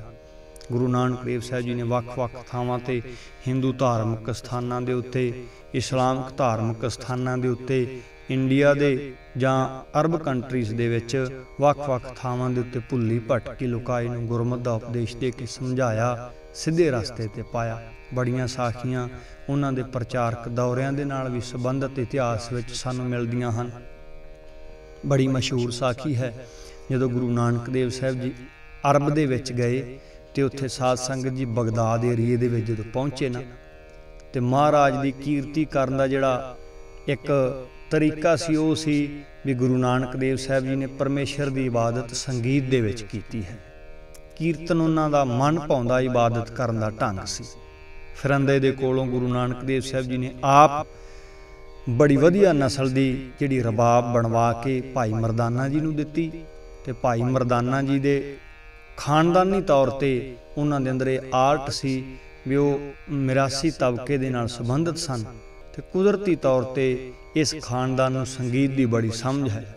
ਆਮ ਤੌਰ ਤੇ ਸਾਡੇ ਪਿੰਡਾਂ ਵਿੱਚ ਇਹ ਕਿਹਾ ਜਾਂਦਾ ਹੈ ਵੀ ਮਿਰਾਸੀਆਂ ਦਾ ਨਿਆਣਾ ਰੋਂਦਾ ਹੋਵੇ ਤੇ ਉਹ ਰੋਂਦਾ ਵੀ ਸੁਰ ਦੇ ਵਿੱਚ ਰੋਂਦਾ ਹੈ। ਉਹਦਾ ਰੋਣਾ ਵੀ ਬੇਸੁਰਾ ਨਹੀਂ ਹੁੰਦਾ। ਹੈ ਉਹ ਰੋਣਾ ਹੋਵੇ, ਉਹ ਰੋਣਾ ਵੀ ਸੁਰ ਦੇ ਵਿੱਚ ਕੱਢਦਾ ਹੈ ਆਪਣਾ। ਇਹ ਇੱਕ ਕਲਾ ਹੈ ਕੁਦਰਤ ਵੱਲੋਂ ਦਿੱਤੀ ਹੋਈ ਇਸ ਖਾਨਦਾਨ ਨੂੰ, ਇਸ ਘਰਾਣੇ ਨੂੰ। ਬਾਬੇ ਨਾਨਕ ਨੇ ਆਪਣੇ ਸਾਥੀ ਭਾਈ ਮਰਦਾਨੇ ਨੂੰ ਆਪਣੇ ਨਾਲ ਲਿਆ ਤੇ ਉਹਨੂੰ ਸਭ ਤੋਂ ਪਹਿਲਾਂ ਇਹ ਗੱਲ ਸਮਝਾਈ। ਕਿਉਂਕਿ ਉਹ ਪਹਿਲਾਂ ਆਮ ਤੌਰ ਤੇ ਕਿਸੇ ਅਮੀਰ ਦੀ ਉਸਤਤ ਵਿੱਚ ਰਾਗ ਗਾਉਂਦਾ ਸੀ। ਕਿਸੇ ਰਾਜੇ ਦੀ ਉਸਤਤ ਵਿੱਚ, ਕਿਸੇ ਨਵਾਬ ਚੌਧਰੀ ਦੀ ਉਸਤਤ ਵਿੱਚ ਖੁਸ਼ੀ ਗਮੀ ਉਹਨਾਂ ਦੇ ਘਰ ਵਿੱਚ ਰਾਗ ਗਾਉਣਾ ਤੇ ਉਹਨਾਂ ਦੀ ਮੰਗਣ ਦੀ ਆਦਤ ਸੀ। ਉਹਦੇ ਕੋਲ ਮੰਗ ਕੇ ਕੁਛ ਲੈਣਾ, ਉਹਦੇ ਕੋਲ ਮੰਗ ਕੇ ਕੱਪੜਾ, ਮੰਗ ਕੇ ਧਨ ਪਦਾਰਥ ਲੈਣਾ, ਉਹਨੇ ਦੇ ਦੇਣਾ, ਹੋਰ ਮੰਗੀ ਜਾਣਾ, ਹੋਰ ਮੰਗੀ ਜਾਣਾ ਤੇ ਉਹਨੇ ਜਦੋਂ ਜਲੀਲ ਕਰਨਾ, ਧੱਕੇ ਦੇ ਦੇਣੇ, ਉਦੋਂ ਉਹਨੇ ਘਰ ਦੇ ਵਿੱਚ ਵਾਪਸ ਆਉਣਾ, ਨਹੀਂ ਉਹਨਾਂ ਚਿਰ ਮੰਗੀ ਜਾਣਾ। ਕਿਉਂਕਿ ਉਹਨਾਂ ਦਾ ਸੁਭਾਅ ਬਣ ਚੁੱਕਿਆ ਸੀ ਮੰਗਣ ਦਾ। ਗੁਰੂ ਨਾਨਕ ਦੇਵ ਸਾਹਿਬ ਜੀ ਦੇ ਨਾਲ ਜਦੋਂ ਉਹਨਾਂ ਦਾ ਉੱਠਣ ਬੈਠਣ ਹੋਇਆ, ਇੱਕ ਇਤਿਹਾਸਕਾਰ ਨੇ ਲਿਖਿਆ ਹੈ ਵੀ ਬਾਬੇ ਨਾਨਕ ਨੇ ਇੱਕ ਦਿਨ ਚੋਲਾ ਬੜਾ ਸੋਹਣਾ ਪਾਇਆ। ਭਾਈ ਮਰਦਾਨਾ ਜੀ ਨੇ ਵੇਖ ਕੇ ਬਾਬੇ ਨਾਨਕ ਦਾ ਚੋਲਾ ਲਿਬਾਸ ਕਹਿਣ ਲੱਗੇ, ਜੀ, ਤੁਹਾਡੇ ਕੱਪੜੇ ਬੜੇ ਸੋਹਣੇ ਹਨ, ਤੁਹਾਡਾ ਲਿਬਾਸ ਬੜਾ ਵਧੀਆ। ਬਾਬਾ ਨਾਨਕ ਕਹਿਣ ਲੱਗਾ, ਤੈਨੂੰ ਚੰਗਾ ਲੱਗਦਾ? ਭਾਈ ਮਰਦਾਨਾ ਜੀ ਕਹਿਣ ਲੱਗੇ, ਹਾਂ, ਮੈਨੂੰ ਬੜਾ ਸੋਹਣਾ ਲੱਗਿਆ। ਬਾਬੇ ਨਾਨਕ ਨੇ ਆਪਣੇ ਗਲ ਤੋਂ ਕੱਪੜੇ ਲਾਏ। ਤੇ ਭਾਈ ਮਰਦਾਨੇ ਨੂੰ ਕਿਹਾ ਲੈ, ਤੂੰ ਪਾ ਲੈ ਜਦੋਂ ਭਾਈ ਮਰਦਾਨੇ ਜੀ ਨੇ ਉਹ ਕੱਪੜੇ ਫੜੇ ਤੇ ਬਾਬੇ ਨਾਨਕ ਨੇ ਉਹਦੀ ਬਾਹ ਫੜ ਕੇ ਕਿਹਾ, ਵੇ ਮਰਦਾਨਿਆ, ਇੱਕ ਗੱਲ ਦਾ ਧਿਆਨ ਰੱਖੀ, ਤੂੰ ਅੱਜ ਮੇਰੇ ਕੱਪੜੇ ਮੇਰਾ ਚੋਲਾ ਪਾਉਣ ਲੱਗਿਆ ਹੈ। ਇਸ ਬਾਣੇ ਦੀ, ਇਸ ਲਿਬਾਸ ਦੀ ਲੱਜ ਰੱਖੀ, ਕਿਉਂਕਿ ਇਸ ਲਿਬਾਸ ਦੀ ਝੋਲੀ ਮੈਂ ਇੱਕ ਪਰਮੇਸ਼ਰ ਦੇ ਦਰ ਤੋਂ ਬਿਨਾ ਕਦੇ ਕਿਸੇ ਅੱਗੇ ਨਹੀਂ ਅੱਡੀ ਹੈ ਤੇ ਮੇਰਾ ਚੋਲਾ ਪਾ ਕੇ ਇਸ ਚੋਲੇ ਨੂੰ ਲੋਕਾਂ ਦੇ ਦਰ-ਦਰ ਦੇ ਉੱਤੇ ਅੜਦਾ ਨਾ ਫਿਰੀ। ਜਦੋਂ ਵੀ ਤੈਨੂੰ ਕਿਸੇ ਚੀਜ਼ ਦੀ ਜ਼ਰੂਰਤ ਪਵੇ, ਜਦੋਂ ਵੀ ਤੂੰ ਕਿਸੇ ਚੀਜ਼ ਦਾ ਇੱਛੁਕ ਹੋਵੇਂ, ਜੇ ਮੰਗਣਾ ਹੈ ਤੇ ਪਰਮੇਸ਼ਰ ਦੇ ਦਰ ਤੋਂ ਇਸ ਨਾਨਕ ਦੇ ਚੋਲੇ ਨੂੰ ਫੈਲਾ ਕੇ ਮੰਗੀ, ਇਸ ਨਾਨਕ ਦੇ ਚੋਲੇ ਨੂੰ ਦਰ-ਦਰ ਦੇ ਉੱਤੇ ਅੱਡ ਕੇ ਦਾਗੀ ਤੇ ਬਦਨਾਮ ਨਾ ਕਰ ਦੇਂ ਸਾਨੂੰ ਇਸ ਸਾਖੀ ਤੋਂ ਘਟਨਾ ਤੋਂ ਸੇਧ ਲੈਣੀ ਚਾਹੀਦੀ ਹੈ ਕਿ ਸਾਨੂੰ ਜਦੋਂ ਵੀ ਕਿਸੇ ਚੀਜ਼ ਦੀ ਜ਼ਰੂਰਤ ਹੈ, ਜਦੋਂ ਵੀ ਸਾਨੂੰ ਦੁੱਧ ਪੁੱਤ ਦੀ ਲੋੜ ਪੈਂਦੀ ਹੈ ਤੇ ਸਾਨੂੰ ਆਪਣੇ ਗੁਰੂ ਪਰਮੇਸ਼ਰ ਤੋਂ ਮੰਗਣਾ ਚਾਹੀਦਾ ਹੈ। ਕਿਉਂ? ਕਿਉਂਕਿ ਬਾਣੀ ਦਾ ਫੈਸਲਾ ਹੈ, ਦੱਦਾ ਦਾਤਾ ਏਕ ਹੈ। ਸਭ ਕੋ ਦੇਵਨਹਾਰ ਦੇਂਦਾ ਟੋਟ ਨਾ ਆਵਈ, ਅਗੰਤ ਭਰੇ ਪੰਡਾਰ ਜਿਸ ਦਾ ਦਿੱਤਾ ਖਾਵਣਾ, ਤਿਸ ਕਹੀਐ ਸ਼ਾਬਾਸ। ਨਾਨਕ, ਹੁਕਮ ਨਾ ਚੱਲਈ, ਨਾਲ ਖਸਮ ਚੱਲੇ ਅਰਦਾਸ। ਬਾਬੇ ਨਾਨਕ ਨੇ ਤੇ ਗੱਲ ਜਪਜੀ ਸਾਹਿਬ ਵਿੱਚ ਬੜੀ ਕਮਾਲ ਦੀ ਕੀਤੀ। ਕਹਿਣ ਲੱਗੇ, ਗੁਰਾ ਇੱਕ ਦੇਹ 부ਝਾਈ ਸਭਨਾ ਜੀਆਂ ਕਾ ਇੱਕ ਦਾਤਾ, ਸੋ ਮੈਂ ਵਿਸਰ ਨਾ ਜਾਈ। ਸਾਰੀ ਖਲਕਤ ਨੂੰ ਰਿਜ਼ਕ ਦੇ ਨਾਲ ਨਿਆਮਤਾਂ ਦੇ ਨਾਲ ਨਿਵਾਜਣ ਵਾਲਾ ਉਹ ਇੱਕ ਪਰਮਾਤਮਾ, ਜਿਹੜਾ ਸਭ ਨੂੰ ਪਾਲਦਾ ਤੇ ਸੰਭਾਲਦਾ ਹੈ। ਮੈਨੂੰ ਇਹ ਸੂਝ ਦੇਈ ਵੀ ਮੇਰੇ ਉਚੇਤੇ ਵਿੱਚ ਬਣਿਆ ਰਹੇ, ਕਿਤੇ ਮੈਨੂੰ ਭੁੱਲ ਕੇ ਕਿਸੇ ਹੋਰ ਦੀ ਪੂਜਾ ਨਾ ਕਰਨ ਲੱਗ ਜਾਵਾਂ। ਤੇ ਹੁਣ ਸਿੱਖ ਸਮਾਜ ਹੀ ਨਹੀਂ, ਸਾਰੀ ਮਨੁੱਖਤਾ ਦਾ ਇਹ ਹਾਲ ਹੋਇਆ ਪਿਆ ਹੈ। ਥੋੜਾ ਜਿਹਾ ਕਿਸੇ ਦਾ 4 ਦਿਨ ਸਿਰ ਦੁਖੇ ਉਹ ਉਦੋਂ ਹੀ ਕਿਸੇ ਧਾਗੇ ਤਵੀਤ ਵਾਲੇ ਕੋਲ ਭੱਜਦਾ ਹੈ, ਕਿਸੇ ਟੂਣੇ ਟਾਮਣ ਵਾਲੇ ਕੋਲ, ਕਿਸੇ ਧਾਗੇ ਤਵੀਤ, ਕਿਸੇ ਪਾਣੀ ਰੱਖ ਕਰਨ ਵਾਲੇ ਕੋਲ, ਕੋਈ ਹੋਰ ਇਧਰ ਉਧਰ ਦੀਆਂ ਪੁੱਠੀਆਂ ਸਿੱਧੀਆਂ ਗੱਲਾਂ ਸਿਖਾਉਣ ਵਾਲੇ ਵਾਲੇ ਕੋਲ ਜਾ ਕੇ ਉਹਦੇ ਪੈਰਾਂ ਤੇ ਆਪਣਾ ਮੱਥਾ ਸਿੱਟ ਕੇ ਬਹਿ ਜਾਂਦਾ ਹੈ। ਕੋਈ ਸੇਬ ਦਿੰਦਾ ਹੈ, ਇਹਦੇ ਨਾਲ ਪੁੱਤਰ ਹੋ ਜਾਏਗਾ। ਕੋਈ ਵਸਤੂ ਸ਼ਾਸਤਰ ਦੀ ਗੱਲ ਸੁਣਾਉਂਦਾ ਹੈ, ਇਹਦੇ ਨਾਲ ਘਰ ਵਿੱਚ ਬਰਕਤਾਂ ਆ ਜਾਣਗੀਆਂ। ਕੋਈ ਰਾਸ਼ੀਆਂ ਵਿੱਚ ਚਲ ਜਾਂਦਾ ਹੈ, ਇਹਦੇ ਨਾਲ ਕੰਮ ਚੱਲ ਪਏਗਾ। ਕੋਈ ਤਰ੍ਹਾਂ ਤਰ੍ਹਾਂ ਦੇ ਅਖੌਤੀ ਮੰਤਰ ਲਿਖ ਕੇ ਦਿੰਦਾ ਹੈ, ਇਹਦੇ ਨਾਲ ਤੇਰੀ ਵਿਗੜੀ ਸਵਰ ਜਾਏਗੀ। ਮੇਰਾ ਬਾਬਾ ਨਾਨਕ, ਆਪਣੇ ਸ਼ਾਕਿਰਦ ਕਹਿ ਲਈਏ, ਆਪਣੇ ਸਿੱਖ ਸ਼ਰਧਾਲੂ, ਆਪਣੇ ਸਾਥੀ, ਸੰਗੀਤਕਾਰ, ਕੀਰਤਨੀਏ, ਭਾਈ ਮਰਦਾਨੇ ਜੀ ਨੂੰ ਇਹ ਸੇਧ ਦਿੰਦੇ ਹਨ, ਵੀ ਜੇ ਮੇਰਾ ਲਿਬਾਸ ਪਾਇਆ ਹੈ, ਤਾਂ ਇਹਦੀ ਲੱਜ ਪੱਤ ਰੱਖੀ, ਇਹਦੀ ਝੋਲੀ ਕਿਸੇ ਐਰੇ ਗੈਰੇ ਨੱਥੂ ਖੈਰੇ ਕਿਸੇ ਮਨੁੱਖ, ਕਿਸੇ ਅਧੂਰੇ ਊਣੇ ਬੰਦੇ ਦੇ ਅੱਗੇ ਨਾ ਆਡੀ ਜਦੋਂ ਵੀ ਇਹਦੀ ਝੋਲੀ ਫੈਲੇ, ਉਦੋਂ ਸਿਰਫ ਤੇ ਸਿਰਫ ਪਰਮੇਸ਼ਰ ਦੇ ਦਰ ਦੇ ਉੱਤੇ ਫੈਲਣੀ ਚਾਹੀਦੀ ਹੈ। ਤੇ ਸਾਨੂੰ ਵੀ ਬਾਬੇ ਨਾਨਕ ਦਾ ਲਿਬਾਸ ਸਰੂਪ ਉਹਦੀ ਲੱਜਪਤ ਰੱਖਣੀ ਚਾਹੀਦੀ ਹੈ। ਸਾਨੂੰ ਜਦੋਂ ਵੀ ਕੋਈ ਦੁੱਖ, ਤਕਲੀਫ, ਕੋਈ ਲੋੜ ਹੈ, ਤੇ ਮੰਗਣਾ ਸਿੱਖਣੇ ਗੁਰੂ ਕੋਲੋਂ ਹੀ ਹੈ। ਪਿਆਰਿਓ ਉਦੋਂ ਸਾਨੂੰ ਸਿਰਫ ਤੇ ਸਿਰਫ ਪਰਮੇਸ਼ਰ ਦੇ ਦਰ ਦੇ ਉੱਤੇ ਇਸ ਬਾਬੇ ਨਾਨਕ ਦੇ ਸਰੂਪ ਦੀ ਲੱਜ ਰੱਖਦਿਆਂ ਉਹਦੇ ਅੱਗੇ ਫਰਿਆਦੀ ਹੋਣਾ ਚਾਹੀਦਾ। ਹੈ ਉਹਦੇ ਅੱਗੇ ਅਰਦਾਸ ਕਰਨੀ ਚਾਹੀਦੀ ਹੈ। ਸੋ ਗੁਰੂ ਨਾਨਕ ਦੇਵ ਸਾਹਿਬ ਜੀ ਨੇ ਬਾਬੇ ਨਾਨਕ ਨੂੰ ਆਪਣਾ ਲਿਬਾਸ ਪਵਾਇਆ, ਆਪਣੇ ਸਾਥ ਲਿਆ। ਗੱਲ ਕਰ ਰਹੇ ਸੀ ਅਰਬ ਕੰਟਰੀਆਂ ਦੇ ਵਿੱਚ, ਬਗਦਾਦ ਦੇ ਵਿੱਚ ਗਏ ਤੇ ਇਸਲਾਮ ਦੇ ਵਿੱਚ ਸੰਗੀਤ ਨੂੰ ਹਰਾਮ ਕਿਹਾ ਗਿਆ ਹੈ। ਪਰ ਗੁਰੂ ਨਾਨਕ ਦੇਵ ਸਾਹਿਬ ਜੀ ਦਾ ਤਰੀਕਾ ਸੀ ਇਬਾਦਤ ਕਰਨ ਦਾ, ਗੁਰਮਤ ਦੀ ਗੱਲ ਦੇ ਪ੍ਰਚਾਰ ਕਰਨ ਦਾ। ਉਹ ਸੰਗੀਤ ਦੇ ਵਿੱਚ ਆਪਣੀ ਗੁਰਮਤ ਦੀ ਗੱਲ, ਗੁਰਬਾਣੀ ਦੀ ਗੱਲ, ਪਰਮੇਸ਼ਰ ਦੇ ਪਿਆਰ ਤੇ ਸਿਧਾਂਤ ਦੀ ਗੱਲ, ਉਹ ਸਾਧ ਸੰਗਤ ਜੀ ਸੰਗੀਤ ਰਾਹੀਂ ਦੱਸਦੇ ਸਨ। ਉਹਨਾਂ ਦੀ ਇਬਾਦਤ ਦਾ ਮੁੱਖ ਸਰੋਤ ਸੰਗੀਤ ਸੀ। ਜਦੋਂ ਭਾਈ ਮਰਦਾਨੇ ਜੀ ਨੂੰ ਕਿਹਾ ਕਿ ਵੇ ਮਰਦਾਨਿਆਂ, ਰਬਾਬ, ਛੇੜ, ਬਾਣੀ ਆਈ ਹੈ ਕਾਈ ਸਿਫਤ ਕਰਤਾਰ ਦੀ ਕਰੀਏ। ਜਦੋਂ ਭਾਈ ਮਰਦਾਨੇ ਨੇ ਰਬਾਬ ਛੇੜੀ ਮੇਰੇ ਬਾਬੇ ਨੇ, ਇੱਕ ਉੱਚੀ ਆਵਾਜ਼ ਦੇ ਵਿੱਚ ਗੁਰਬਾਣੀ ਦਾ ਹੋਕਾ ਗਾਇਆ ਤੇ ਆਸੇ-ਪਾਸੇ ਲੋਕ ਪੱਥਰ ਲੈ ਕੇ ਆ ਗਏ। ਇਹ ਕੌਣ ਹੈ ਕਾਫਰ ਜਿਹੜਾ ਇਸ ਇਲਾਕੇ ਦੇ ਵਿੱਚ ਹਰਾਮ ਕੀਤੀ ਹੋਈ ਪ੍ਰਕਿਰਿਆ ਸੰਗੀਤ ਨੂੰ ਗਾ ਰਿਹਾ ਹੈ, ਦੁਹਰਾ ਰਿਹਾ ਹੈ? ਲੋਕਾਂ ਨੇ ਗੁਰੂ ਨਾਨਕ ਦੇਵ ਸਾਹਿਬ ਜੀ ਨੂੰ ਫੜਿਆ, ਫੜ ਕੇ ਪੀਰ ਦਸਤਗੀਰ ਬਹਿਲੋਲ ਦੇ ਕੋਲ ਲੈ ਗਏ। ਉਹਨਾਂ ਦੇ ਦਰਬਾਰ ਵਿੱਚ, ਉਹਨਾਂ ਦੀ ਕਚਹਿਰੀ ਵਿੱਚ ਕਹਿ ਲਈਏ ਉਹਨਾਂ ਦੇ ਉੱਥੇ ਬਣਾਏ ਹੋਏ ਟਿਕਾਣੇ ਦੇ ਵਿੱਚ ਉਹਨਾਂ ਨੂੰ ਪੇਸ਼ ਕੀਤਾ ਗਿਆ। ਗੁਰੂ ਨਾਨਕ ਦੇਵ ਸਾਹਿਬ ਜੀ ਤੇ ਭਾਈ ਮਰਦਾਨਾ ਜੀ ਉਹਨਾਂ ਦੀ ਕਚਹਿਰੀ ਵਿੱਚ ਥੱਲੇ ਖੜੇ ਹਨ। ਪੀਰ ਦਸਤਗੀਰ ਉੱਚੇ ਸਿੰਘਾਸਣ ਤੇ ਬੈਠਾ ਹੈ। ਸਭ ਤੋਂ ਪਹਿਲਾਂ ਦਸਤਗੀਰ ਨੇ ਇਹ ਉਹਨਾਂ ਦੇ ਲਿਬਾਸ ਨੂੰ ਵੇਖ ਕੇ ਵੀ ਇਹ ਕੋਈ ਪੀਰ ਫਕੀਰ ਹਨ, ਕੋਈ ਇਬਾਦਤ ਕਰਨ ਵਾਲੇ ਹਨ। ਸਭ ਤੋਂ ਪਹਿਲਾਂ ਉਹਨਾਂ ਦੇ ਨਾਲ ਅਦਬ ਦੇ ਨਾਲ ਪੇਸ਼ ਆਏ ਵੀ ਭਾਈ ਗੁਰਮਖੋ, ਰੱਬ ਦੇ ਬੰਦਿਓ ਐ ਖੁਦਾ ਦੀ ਉਮਤ ਤੁਹਾਨੂੰ ਪਤਾ ਹੈ ਵੀ ਸੰਗੀਤ ਇਸ ਇਸਲਾਮੀ ਏਰੀਏ ਦੇ ਵਿੱਚ ਤੁਸੀਂ ਗਾਇਆ, ਇਸਲਾਮ ਦੇ ਵਿੱਚ ਸੰਗੀਤ ਨੂੰ ਹਰਾਮ ਮੰਨਿਆ ਗਿਆ, ਤੁਸੀਂ ਕਿਉਂ ਗਾਇਆ? ਤੇ ਮੇਰੇ ਬਾਬੇ ਨੇ ਬੜੇ ਹੀ ਗਿਆਨ ਭਰਪੂਰ ਤਰਕ ਦੇ ਨਾਲ ਪੀਰ ਦਸਤਗੀਰ ਨੂੰ ਕਿਹਾ, ਦਸਤਗੀਰ ਜੀ, ਸਾਨੂੰ ਤੁਸੀਂ ਇਹ ਗੱਲ ਦੱਸੋ ਵੀ ਇਸ ਇਲਾਕੇ ਵਿੱਚ ਜਾਂ ਇਸ ਧਰਮ ਦੇ ਵਿੱਚ ਕਹਿ ਲਈਏ ਜਾਂ ਇਸ ਇਸ ਸੰਪਰਦਾ ਦੇ ਵਿੱਚ ਸੰਗੀਤ ਨੂੰ ਹਰਾਮ ਕਿਉਂ ਕੀਤਾ ਗਿਆ ਹੈ? ਪੀਰ ਦਸਤਗੀਰ ਹੱਸ ਕੇ ਕਹਿਣ ਲੱਗਾ, ਸੰਗੀਤ ਦੇ ਨਾਲ ਮਨੁੱਖ ਦਾ ਮਨ ਚੰਚਲ ਹੁੰਦਾ ਹੈ। ਇਸ ਕਰਕੇ ਸੰਗੀਤ ਹਰਾਮ ਹੈ। ਮੇਰੇ ਬਾਬੇ ਨਾਨਕ ਨੇ ਉਦਾਹਰਨਾਂ ਦੇ ਨਾਲ ਸਮਝਾਉਣਾ ਚਾਹਿਆ, ਜਿਵੇਂ ਇੱਕ ਉਦਾਹਰਨ ਹੈ ਵੀ ਇੱਕ ਕੱਚ ਦਾ ਗਿਲਾਸ ਹੈ। ਇੱਕ ਬੰਦਾ ਉਹਦੇ ਵਿੱਚ ਪਾ ਕੇ ਸ਼ਰਾਬ ਪੀ ਰਿਹਾ ਹੈ ਤੇ ਨਾਲ ਵਾਲਾ ਬੰਦਾ ਉਸੇ ਭਾਂਡੇ ਨੂੰ ਧੋ ਕੇ, ਸਾਫ਼ ਕਰਕੇ, ਮਾਂਜ ਕੇ, ਸਵੱਛ ਕਰਕੇ ਉਹਦੇ ਵਿੱਚ ਦੁੱਧ ਪਾ ਕੇ ਪੀ ਲੈਂਦਾ ਹੈ। ਦੁੱਧ ਦੀ ਆਪਣੀ ਤਸੀਰ ਹੈ, ਆਪਣਾ ਅਸਰ ਹੈ। ਸ਼ਰਾਬ ਦਾ ਸਰੀਰ ਦੇ ਉੱਤੇ ਆਪਣਾ ਇਫੈਕਟ ਹੈ, ਆਪਣਾ ਦੁਸ਼ਪ੍ਰਭਾਵ, ਪ੍ਰਭਾਵ ਹੈ। ਸਾਧ ਸੰਗਤ ਜੀ, ਗੁਰੂ ਨਾਨਕ ਦੇਵ ਸਾਹਿਬ ਜੀ ਕਹਿਣ ਲੱਗੇ ਕਿ ਕੋਈ ਗੁੱਸੇ ਵਿੱਚ ਆ ਕੇ ਉਸ ਕੱਚ ਦੇ ਗਲਾਸ ਨੂੰ ਇਸ ਕਰਕੇ ਭੰਨਦੇ ਵੀ ਇਹ ਭਾਂਡਾ ਹੀ ਮਾੜਾ ਜੀ, ਇਹਦੇ ਵਿੱਚ ਪਾ ਕੇ ਸ਼ਰਾਬ ਪੀਤੀ ਜਾਂਦੀ, ਇਸ ਕਰਕੇ ਇਹਨੂੰ ਹੀ ਤੋੜ ਦਿਓ। ਉਸ ਭਾਂਡੇ ਦਾ ਕਸੂਰ ਨਹੀਂ ਹੈ। ਉਸ ਭਾਂਡੇ ਵਿੱਚ ਕੀ ਪਾ ਕੇ ਪੀਤਾ ਜਾ ਰਿਹਾ ਹੈ, ਗੌਰ ਕਰਨ ਵਾਲੀ ਗੱਲ ਤੇ ਇਹ ਹੁੰਦੀ ਹੈ। ਸੰਗੀਤ ਨੂੰ ਬੈਨ ਕਰਨ ਦੀ ਲੋੜ ਨਹੀਂ ਸੀ। ਸੰਗੀਤ ਨੂੰ ਹਰਾਮ ਕਹਿਣ ਦੀ ਲੋੜ ਨਹੀਂ ਸੀ। ਸਾਨੂੰ ਇਹ ਸਮਝਾਉਣ ਦੀ ਲੋੜ ਸੀ ਵੀ ਸੰਗੀਤ ਕਿਹੜਾ ਗਾਉਣਾ ਹੈ ਤੇ ਕਿਹੜਾ ਨਹੀਂ ਗਾਉਣਾ ਹੈ। ਤੁਸੀਂ ਇਸ ਸੰਗੀਤ ਦੇ ਵਿੱਚ ਪਰਮੇਸ਼ਰ ਦੀ ਸਿਫਤ ਕਰੋ ਤੇ ਇਹ ਸੰਗੀਤ ਮਨ ਨੂੰ ਟਿਕਾਉਣ ਵਾਲਾ ਬਣ ਜਾਂਦਾ ਹੈ। ਤੁਸੀਂ ਇਸ ਸੰਗੀਤ ਵਿੱਚ ਕੁਝ ਲੱਚਰਤਾ ਦੇ ਨਾਲ ਸੰਬੰਧਿਤ ਧੁਨਾਂ ਗਾ ਦਿਓ ਤੇ ਬੰਦੇ ਦਾ ਟਿਕਿਆ ਹੋਇਆ ਮਨ ਵੀ ਚੰਚਲ ਹੋ ਜਾਂਦਾ ਹੈ।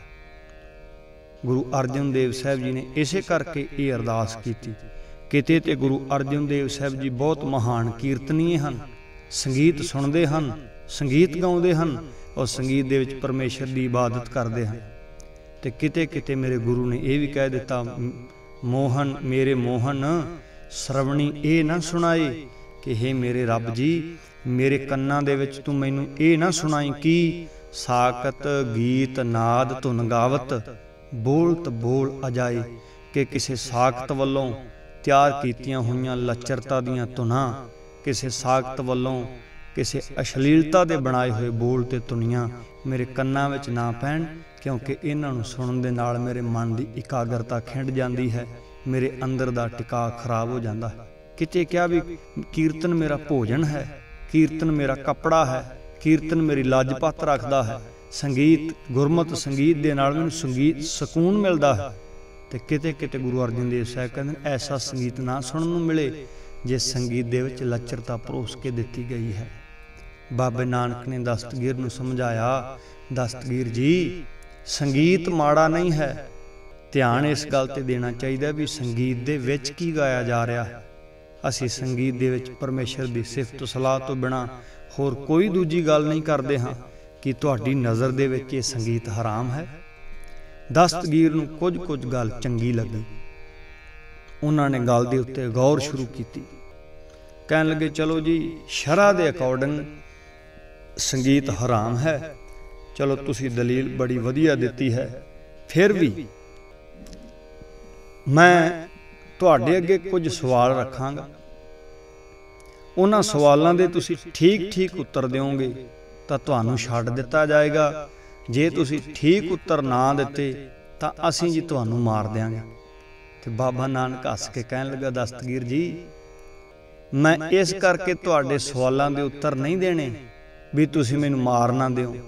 ਮੈਂ ਇਸ ਕਰਕੇ ਤੁਹਾਡੇ ਸਵਾਲਾਂ ਦੇ ਉੱਤਰ ਦੇਣ ਲੱਗਾ ਵਾਂ, ਕਿਉਂਕਿ ਮੈਂ ਘਰ ਦੇ ਵਿੱਚ ਤੁਰਿਆ ਹੀ ਲੋਕਾਂ ਦੇ ਸਵਾਲਾਂ ਦੇ ਉੱਤਰ ਦੇਣ ਲਈ ਹਾਂ। ਮੌਤ ਤੋਂ ਡਰਦਿਆਂ ਮੈਂ ਤੁਹਾਡੇ ਸਵਾਲਾਂ ਦੇ ਉੱਤਰ ਥੋੜਾ ਨਾ ਦੇਣੇ ਹਨ। ਮੇਰਾ ਤੇ ਮਕਸਦ ਹੀ ਇਹ ਹੈ ਵੀ ਭੁੱਲੀ ਭਟਕੀ ਲੁਕਾਈ ਨੂੰ ਉਹਨਾਂ ਦੇ ਸਵਾਲਾਂ ਦੇ ਉੱਤਰ ਦੇ ਦੇ ਕੇ, ਉਹਨਾਂ ਦੇ ਅੰਦਰ ਦੇ ਸ਼ੰਕੇ ਨਿਵਰਤ ਕਰ ਕਰਕੇ, ਉਹਨਾਂ ਨੂੰ ਇਕਾਗਰਤਾ ਦੇ ਨਾਲ ਸਹੀ ਤੇ ਸੁਚੱਜੇ ਪਰਮਾਰਥ ਦੇ ਰਸਤੇ ਉੱਤੇ ਤੋਰਿਆ ਜਾ ਸਕੇ। ਪੀਰ ਦਸਤਗੀਰ ਜੀ ਨੂੰ ਕਹਿਣ ਲੱਗੇ, ਕਰੋ ਸਵਾਲ ਤੁਸੀਂ। ਉਹਨਾਂ ਨੇ ਪਹਿਲਾ ਸਵਾਲ ਕੀਤਾ, ਕਹਿਣ ਲੱਗੇ, ਤੁਹਾਡੇ ਮਤ ਵਿੱਚ ਵੀ ਇਹ ਮੰਨਿਆ ਜਾਂਦਾ ਹੈ। ਸਾਡੇ ਮਜ਼ਹਬ ਦੇ ਵਿੱਚ ਵੀ ਇਹ ਗੱਲ ਪੂਰੀ ਤਰ੍ਹਾਂ ਪ੍ਰਚਾਰੀ ਤੇ ਪ੍ਰਸਾਰੀ ਜਾਂਦੀ ਹੈ। ਵੀ ਪਰਮੇਸ਼ਰ ਇੱਕ ਹੈ। ਉਹ ਅਕਾਲ ਪੁਰਖ ਵਾਹਿਦ ਲਾ ਮਿਸਾਲ ਹਸਤੀ ਹੈ। ਉਹਦੇ ਵਰਗੀ ਤੇ ਉਹਦੇ ਜਿੱਡੀ ਕੋਈ ਹੋਰ ਹਸਤੀ ਨਹੀਂ ਪਰ ਮੈਨੂੰ ਇੱਕ ਗੱਲ ਦਾ ਜਵਾਬ ਦਿਓ ਵੀ ਉਸ ਇੱਕ ਪਰਮਾਤਮਾ, ਇੱਕ ਖੁਦਾ ਤੋਂ ਪਹਿਲਾਂ ਕੀ ਸੀ? ਗੁਰੂ ਨਾਨਕ ਦੇਵ ਸਾਹਿਬ ਜੀ ਮੁਸਕਰਾਏ। ਕਹਿਣ ਲੱਗੇ, ਇੱਕ ਮੋਤੀਆਂ ਦਾ ਭਰਿਆ ਹੋਇਆ ਥਾਲ ਮੰਗਾਓ। ਦਸਤਗੀਰ ਜੀ ਹੈਰਾਨ ਹੋਏ। ਬੜਾ ਲਾਲਚੀ ਪੀਰ ਹੈ। ਹਾਲੇ ਤੇ ਡਿਬੇਟ ਸ਼ੁਰੂ ਨਹੀਂ ਹੋਈ, ਵਿਚਾਰ ਵਟਾਂਦਰਾ ਸ਼ੁਰੂ ਨਹੀਂ ਹੋਇਆ। ਪਹਿਲਾਂ ਹੀ ਭੇਟਾ ਮੰਗ ਲਈ ਵੀ ਸੁੱਚੇ ਮੋਤੀਆਂ ਦਾ ਥਾਲ ਭਰ ਕੇ। ਚਲੋ ਜੀ, ਲੈ ਆਓ ਲੈ ਆਓ। ਚੇਲਿਆਂ ਨੂੰ ਕਿਹਾ, ਸੇਵਕਾਂ ਨੂੰ ਕਿਹਾ, ਸ਼ਾਗਿਰਦਾਂ ਨੂੰ ਕਿਹਾ, ਲੈ ਆਓ। ਜੇ ਸਵਾਲਾਂ ਦੇ ਜਵਾਬ ਨਹੀਂ ਦੇਣਗੇ ਤੇ ਮੋਤੀਆਂ ਦਾ ਥਾਲ ਕਿੱਥੇ ਜਾਏਗਾ? ਇੱਥੇ ਇਹਨਾਂ ਨੂੰ ਸੰਸਾਰ ਕਰ ਦੇਣਾ, ਮਾਰ ਦੇਣਾ, ਇੱਥੇ ਪਏ ਰਹਿਣਗੇ ਮੋਤੀ ਵੀ। ਜਦੋਂ ਮੋਤੀਆਂ ਦਾ ਥਾਲ ਮੰਗਾਇਆ, ਕਹਿਣ ਲੱਗੇ, ਜੀ, ਆ ਗਿਆ। ਗੁਰੂ ਨਾਨਕ ਦੇਵ ਸਾਹਿਬ ਜੀ ਕਹਿਣ ਲੱਗੇ, ਇਹਨੂੰ ਆਪਣੀ ਬੁੱਕਲ ਵਿੱਚ ਰੱਖੋ। ਇਹਨੂੰ ਆਪਣੇ ਕੋਲ ਰੱਖੋ। ਦਸਤਗੀਰ ਜੀ ਨੂੰ ਕਹਿਣ ਲੱਗੇ, ਇਹਨਾਂ ਮੋਤੀਆਂ ਨੂੰ ਗਿਣਨਾ ਸ਼ੁਰੂ ਕਰੋ। ਜਦੋਂ ਮੋਤੀਆਂ ਦੀ ਗਿਣਤੀ ਸ਼ੁਰੂ ਕੀਤੀ 1 2 3 ਗੁਰੂ ਨਾਨਕ ਦੇਵ ਸਾਹਿਬ ਜੀ ਕਹਿਣ ਲੱਗੇ, ਰੁਕ ਜਾਓ। ਤੁਸੀਂ ਗਿਣਤੀ ਗਲਤ ਕਰ ਰਹੇ ਹੋ। ਸਹੀ ਸਹੀ ਗਿਣਤੀ ਕਰੋ। ਗੁਰੂ ਨਾਨਕ ਦੇਵ ਸਾਹਿਬ ਜੀ ਦੀ ਗੱਲ ਸੁਣ ਕੇ ਦਸਤਗੀਰ ਬੜਾ ਹੈਰਾਨ ਹੋਇਆ। ਉਹਨੇ ਫਿਰ ਦੁਬਾਰਾ ਗਿਣਤੀ ਸ਼ੁਰੂ ਕੀਤੀ। 1 2 ਫਿਰ ਰੋਕ ਦਿੱਤਾ। ਗਿਣਤੀ ਸਹੀ ਕਰੋ, ਗਿਣਤੀ ਗਲਤ ਨਹੀਂ ਕਰੋ। ਗੁਰੂ ਨਾਨਕ ਦੇਵ ਸਾਹਿਬ ਜੀ ਨੂੰ ਦਸਤਗੀਰ ਕਹਿਣ ਲੱਗਾ, ਜੀ, ਹੁਣ ਮੈਂ ਜਿੱਥੇ ਗਲਤੀ ਕਰਾਂ, ਉੱਥੇ ਹੀ ਤੁਸੀਂ ਸਾਨੂੰ ਟੋਕ ਦਿਆ ਜੀ। ਅਗਲਾ ਹਰਫ, ਅਗਲਾ ਅੱਖਰ ਨਾਲ ਅਲਫਾਜ਼ ਨਾ ਬੋਲਣ ਦਿਆ ਜੀ। ਜਦੋਂ ਕਿਹਾ, ਇੱਕ ਮੇਰਾ ਬਾਬਾ ਕਹਿਣ ਲੱਗਾ, ਰੁਕ ਜਾਓ, ਗਿਣਤੀ ਠੀਕ ਕਰੋ। ਉਹ ਹੈਰਾਨ ਹੋਇਆ ਵੀ ਕੋਈ ਦੋ ਸ਼ਬਦ ਤਿੰਨ ਕਹੇ ਹੁਣ, ਉਹਨਾਂ ਚੋਂ ਤੇ ਇੱਕ ਗਲਤ ਹੋ ਸਕਦਾ ਹੈ। ਹੁਣ ਹਾਲੇ ਸ਼ਬਦ ਪਹਿਲੇ ਬੋਲਿਆ ਇੱਕ, ਤੇ ਹੁਣ ਇੱਕ ਦੇ ਵਿੱਚ ਕੀ ਗਲਤੀ ਹੋ ਗਈ?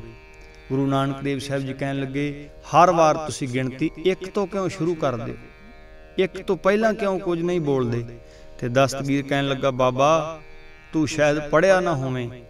ਹਰ ਵਾਰ ਗਣਿਤ ਵਿੱਚ, ਮੈਥਮੈਟਿਕਸ ਵਿੱਚ ਗਿਣਤੀ ਜਿਹੜੀ ਇੱਕ ਤੋਂ ਹੀ ਸ਼ੁਰੂ ਹੁੰਦੀ ਹੈ।